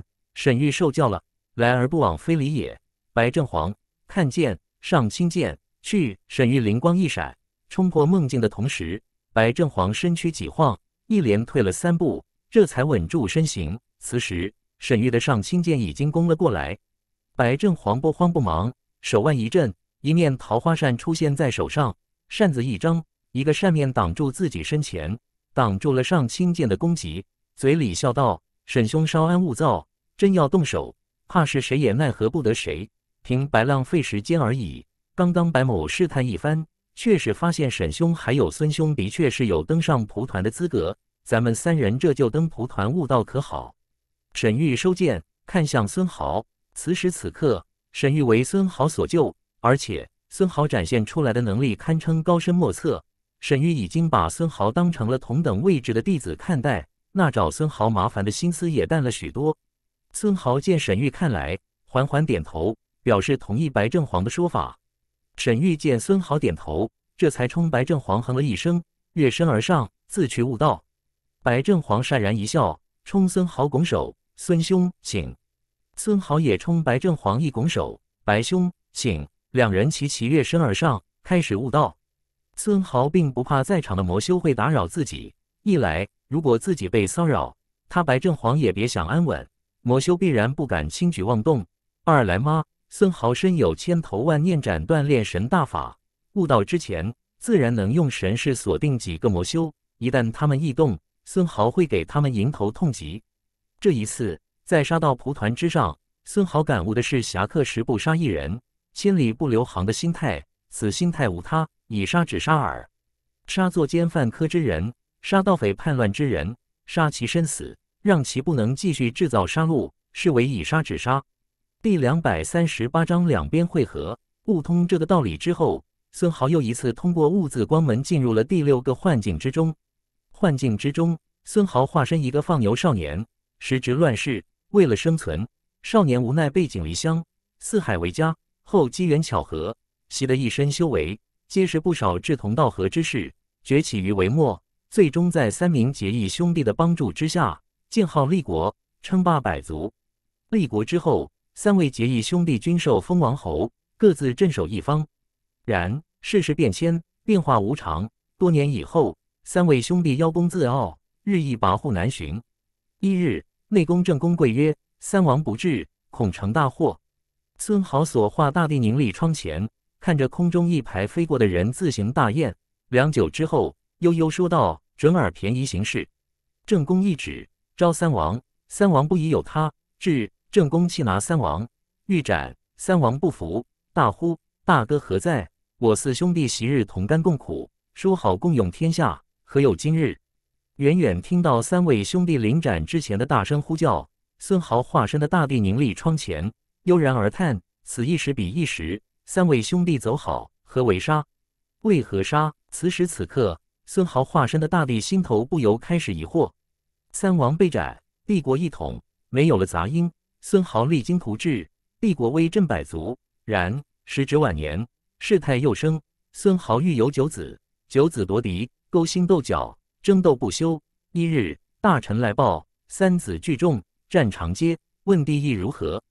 孙豪化身大帝，沉默良久，曰：“随他们去吧。”三子激战，二子胜出，斩大哥、三弟于长街之上，挟大胜之威。二子带手下汉江登殿。孙豪问：“何至于此？”二子答曰：“成王败寇，又看看身后一群汉江，后曰：不得不杀。”孙豪化身大帝，明了的点点头。叹一口气，对二子说道：“不可妄杀。”然后传位二子，隐居深宫。当日夜晚，孙豪又是凝立窗前，远眺天空，悠悠说道：“是啊，三位兄弟，当日当时不得不杀啊！为何杀？不得不杀，这就是孙豪的答案。二子或无夺嫡之心，或无杀兄之意。然二子身后汉将成群，此等汉将为自身利益安危。”也必然会逼使二子走上必争必杀之路。很简单的道理，成王败寇，一旦失败，二子身后人等可有好日子过。此正所谓不得不杀。悠然叹息声中，孙豪再度出现在了一间问心殿内。但是让孙豪奇怪的是，这间问心殿内居然是有四个悟道蒲团，比上一间问心殿还多了一个悟道蒲团。不过，随着通过考验的修士逐渐出现之后，孙豪终于明白了。这里出现四个悟道蒲团也很正常，因为轩辕红、金邪日等人也出现在了这个问心殿内。原来是两拨人，现在合在了一起。上间问心殿，两拨人共有六个悟道蒲团，这次两拨人合在一起，出现四个悟道蒲团却也刚刚好。不过两拨人合一，蒲团数量又少，只怕是得见真章才能最终获得悟道资格了。看到孙豪。轩辕红的小脸之上，眼睛笑得眯成了月牙儿。孙豪，你果然来了。孙豪也笑道：“小红，你果然也来了。”两人相视一笑，一切尽在不言中。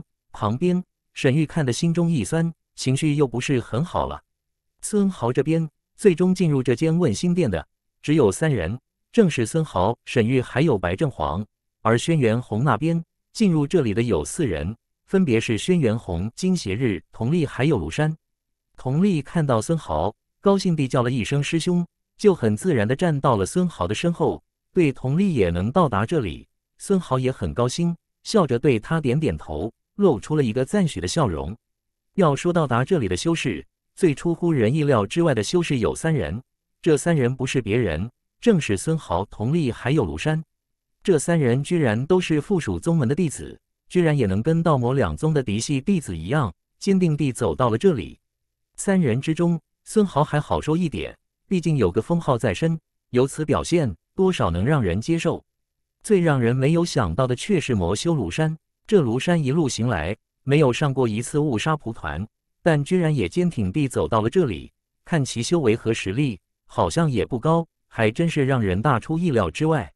看到庐山。白正黄的眼中也闪过一丝惊芒，能走到这里，这庐山无疑也是一个人才，想必有其过人之处。看来对待他的态度有必要略作调整了。道魔双方七名修士，这一回换成青云门占优，有四名弟子到场。魔修那边倒是只有三人，不过魔修那边金邪日是五行魔宗的封号魔修，实力了得。白正黄真正的手段也是厉害无比，相比之下。并没有落在下风。金邪日和白正黄对视一眼之后，大大咧咧地开口说道：“这蒲团一方两个如何？反正魔修庐山一直也没登上过蒲团，没有必要跟他争一个。魔修这边两个蒲团倒是足够了。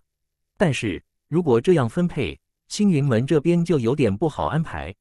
如果只有轩辕红和沈玉两个顶尖修士还好说，但是孙豪异军突起。”实力和对青云门的贡献，甚至是超过了沈玉。问题就来了，青云门的两个悟道蒲团，三个人应该怎么分呢？轩辕红显然也想到了这个问题，眉头皱了起来。沈玉自然也明白这个道理，看向孙豪。孙豪朗然一笑：“金兄，孙豪倒是觉得我们这边人数较多，不妨多分一个。”金邪日眼中厉光一闪，看向孙豪，见孙豪毫不畏惧跟自己对视，一点退缩的意思都没有，不由心头大奇。这青云门附属宗门的弟子真是好胆量。正准备说话之时，白正黄的声音悠悠响起。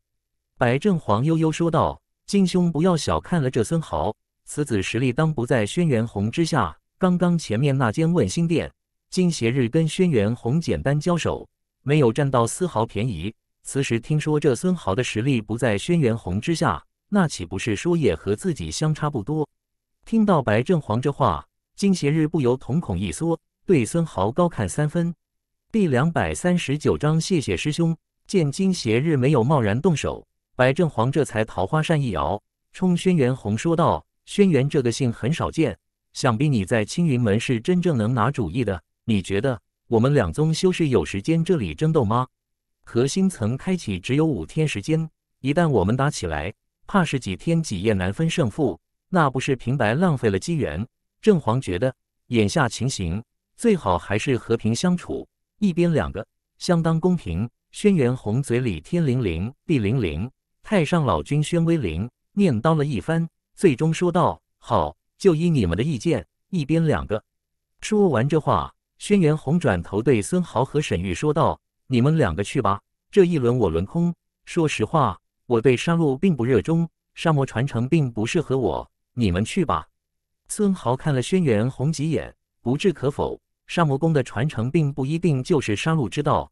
轩辕红此言不过是不想自己这边起争论而采取的折中措施。当然，孙豪对此杀到蒲团也是势在必得，可没有让出的打算。轩辕红既然让出，孙豪也没有阻止的打算。人各有想法，各有决断。孙豪自觉不能干扰，也没有必要干扰轩辕红的决断。不过，孙豪不说话，不代表沈玉不说话。听完轩辕红的话。沈玉眉头微皱，看看孙豪，见孙豪没有丝毫表示，想了一会，终于说道：“轩辕师妹，不必如此。真要登上蒲团，毫无疑问，你比我更合适。如果孙豪不愿放弃这次机会，那么师兄让你就是。正如你所说，我沈家自有传承，却也不是非得这杀魔宫的传承不可。轩辕师妹，你看如此可好？”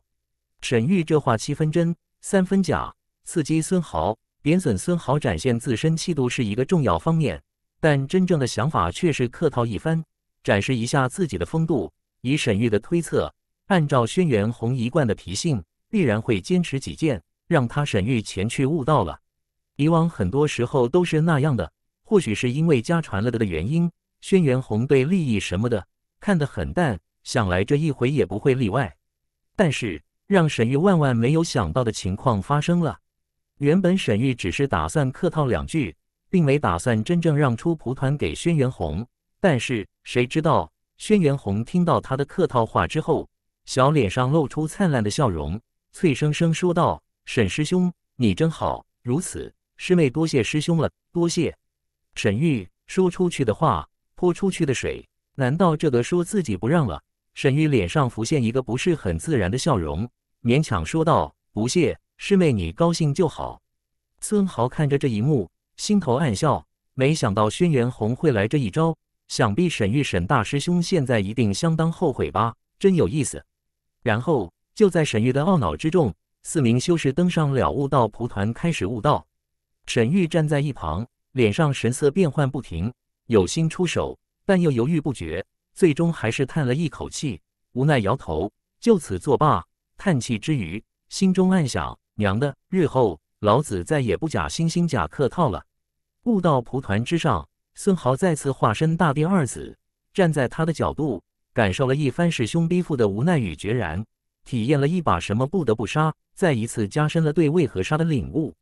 领悟之后，和轩辕红对视一眼，大家没有说话，进入了兀自光门。按照问心殿墙体记载，杀魔宫问心考验一共会有七次，是为七杀问心。此时，大家进入的就是最后一个杀境，不知又会经历怎么样的幻境。不同的修士幻境并不相同。孙豪进入之后，一睁眼，不由开口叫道：“爹娘，不错！”幻境之中，孙豪看到了自己父亲孙强，母亲吴雨荷。与此同时，幻境之中，轩辕红脱口而出：“孙豪，你怎么到我这边来了？”庐山则是满脸惊讶：“昆龙师兄，雷大哥，你们这是？”佟丽一脸诧异：“小婉，你这是干嘛？”这一次幻境虽然各自不同，但是无一例外。考验弟子的幻境之中，出现了自己亲近之人。幻境之中，孙豪依然修炼有成，进步神速。不长时间，孙豪已经成为了万人敬仰的元婴大修士。此时，孙豪的修炼遇见了瓶颈，修炼多年不得寸进。孙豪寻找阻碍自己修炼的原因，多方盘查之后，终于肯定地得知，自己要想化凡入神，成为化神修士，就必须要过心神一关。而阻碍自己心神的，不是其他，乃是割舍不去的亲情。幻境之中，双亲尚未故去，但已老。孙豪明确的感知到，自己若想化凡入神，只需断了双亲的延寿灵药，让双亲自然故去，断去自己亲情弱点，自然就能功德圆满了。甚者是心狠一点，除去双亲，也能立马成就化神。只是一面是亲情，一面是化神，自己理该如何？杀，这只是幻境，人物都是幻影。正常情况下，自己修炼到元婴大修士，父母不可能还健在，能达到如此效果的延寿灵药少之又少。孙豪的理智告诉孙豪，这只是幻境，双亲只是虚构，杀之很可能就能破关而出。杀魔宫，杀魔宫，以杀了断世俗牵绊，很可能就是这一关考验的真正意义所在。杀吗？幻境之中。孙豪脸上出现淡淡的笑容。修士一生有所为，有所不为。就算知道这是幻境，就算知道双亲是假，就算知道杀魔宫考验的用意，但是看着眼前栩栩如生的双亲，孙豪依然恭敬地孝顺如故。让孙豪把剑指向双亲，他做不到；让孙豪断了双亲的延寿灵药，孙豪依然做不到。幻境之中，不知道过了多少年，孙豪卡在元婴期。不得寸进，逐渐垂暮老去。最终有一日，孙豪和双亲一同作画。作画之前，母亲含泪悲泣：“我儿，是我们拖累了你。”孙豪苍老的脸上依然有着淡淡的笑容。母亲，小豪无悔。说到这里，孙豪脸上依然笑着说道：“感谢沙魔大人。”孙豪少小离家，一直遗憾未能尽孝于双亲膝下。幻境之中，尽孝双亲。也算是弥补了孙豪心中些许遗憾。谢了。第两百四十章美丽误会。说完，孙豪含笑而逝去。精神一振，孙豪发现自己并没有被淘汰出局，而是依然出现在了问心殿内。几乎是孙豪接受考验的同时，幻境之中，庐山的血剑缓缓从雷中体内拔了出来。庐山知道这只是幻境。雷大哥，你一路走好。说完，庐山回头看去。他的身后，玉大兄弟玉昆龙早已经死在他的剑下。这一路走来，一路杀戮，一路鲜血，不知不觉，庐山双眼之中出现丝丝血红颜色，看着雷中缓缓倒下的伟岸身躯，仰天大笑。幻境之中，我庐山杀天杀地杀双亲杀兄弟，何物不可杀？幻境之中，佟丽怔怔地看着小婉，为什么？你为什么要这样？不知道遇见何等难决之事，手中大刀举起放下，放下举起，犹豫不决，难以决断。憨厚的脸上也是一脸的挣扎。幻境之中，轩辕红脸颊通红，芳心乱撞。这幻境怎么会这样？幻境之中，他和孙豪居然结成道侣，双宿双飞。只是好景不长，因为血脉遗传，轩辕红修炼速度极快，远超孙豪。终于有一日。轩辕红面临化凡入神的考验，孙豪成了他心中最大的破绽，最大的牵挂。轩辕红此时有了一丝明悟，灭了孙豪，只要自己挥舞红绫剑，刺进孙豪的胸膛，自己就能得偿所愿，等上仙道高峰。幻境之中，轩辕红嘻嘻笑道：“孙豪，这里只是幻境，你就死上一次，成全我吧。”笑完，轩辕红红绫剑一挥，击射而出，直指孙豪左胸。幻境之中的孙豪不躲不闪，依然淡淡笑着看着轩辕红，貌似没有看到那激射而来的飞剑。眼看飞剑就要穿透孙豪，轩辕红的眼中看到孙豪淡淡的笑容，刹那间莫名的悲伤涌上心头，一时间竟然心如刀绞，悲痛不已，嘴里忍不住大喝一声：“不要！”然后耳边轩辕红听到了孙豪的声音：“小红，你怎么了？什么不要？”轩辕红一睁眼，发现自己回到了问心殿内，孙豪正一脸关注的看着自己，看到孙豪。轩辕红心中一紧，一把拉着孙豪的手，急切地问道：“孙豪，你没事吧？”孙豪看着有点慌乱的轩辕红，摇摇头：“我没事。”小红，幻境之中是不是也遇见了亲近之人？轩辕红看着孙豪脸上的淡然笑容，心中安稳下来。孙豪发问，轩辕红想起了幻境之中的故事，脸上绯红，轻声说道：“是的，幻境考验就是击杀身边亲近之人。”怎么，孙豪，你也是一样的吗？孙豪笑了笑，嗯，也是遇见了亲近之人，需要选择杀与不杀。轩辕红脸上更红了，这孙豪该不是也在幻境之中跟我结成道侣了吧？真是羞死人了。孙豪看到轩辕红通红的小脸，心中有点奇怪，不过想想也就理解他了。这小姑娘肯定是难以抉择，所以才心绪不稳了。这时，轩辕红红着脸。小声问道：“那孙豪，你杀了没？”孙豪摇头：“没有，怎么会杀？怎么舍得杀？就算知道是幻境，但孙豪一生有所为，有所不为，没杀。”小红，你杀了没？轩辕红小脸更红，心说这孙豪居然比自己坚定的多了，不由开口问道：“我应该是没杀。”轩辕红接着问道：“那最后你什么结局？”孙豪满脸幸福地说道。最后嘛，心中无悔，含笑作画。轩辕红小眼睛眯成了月牙儿，和他一起。孙豪，嗯，一起。轩辕红拉住孙豪的手，抱得更紧了。孙豪，你真好。孙豪疑惑地扫了扫轩辕红，心说：这不杀双亲是应该？难道自己真那么伟大？不知道一个伟大而美丽的误会已经诞生。孙豪也来不及细问，因为这个时候，问心殿内一阵红光闪过。一个满身杀气的人形出现在了门口，孙豪一看，不是别人，却是一个满脸青春痘的修士。不用问了，这就是庐山了。这个庐山此时双眼之中仿佛依然有血光闪动，嘴里依然在说：“杀天杀地杀兄弟，杀杀杀！”这庐山杀性好重。孙豪眉头不由紧皱，看来庐山通过最终杀境考验的方式，一定就是全杀。这家伙。一定是全杀了自己身边亲近之人才出现在这里的。轩辕红此时跟孙豪对视一眼，脸上也出现丝丝厌恶表情。这庐山魔性真重。不一会，最终杀境的结果出来了。佟丽和沈玉不知道遇见了什么考验，未能最终出现在这里，应该已经被淘汰出局。这间问心殿内，三名魔修，两名青云门道修，共五名弟子。问心殿内。还有最后一次悟道蒲团的参悟机会，只是悟道蒲团只有三个，五个人，三个蒲团，只怕是少不了争斗一番了。五名修士之中，庐山不用考虑，这家伙从头到尾都没有机会登上雾杀蒲团，但是这家伙居然坚挺地挺到了这里，也真是奇迹。不过到了这里，雾杀蒲团照例没有他的份。这家伙倒也有自知之明，早跑到墙角安心打坐。没有争夺悟道蒲团的意图，一副你们玩我看戏的态度。三个蒲团，金邪日、白正黄、孙豪、轩辕红四名修士，谁都不会放弃这次机会。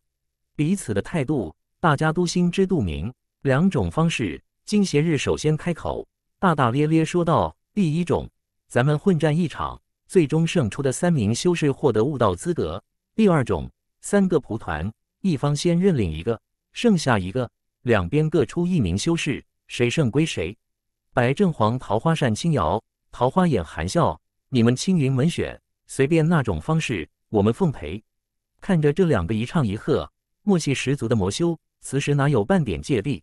想来没进这杀魔宫之前，这两个家伙外表不合，实际就是在演戏了。魔修话下道来，就等这边接招。轩辕红看向孙豪，露出一个问询的眼神。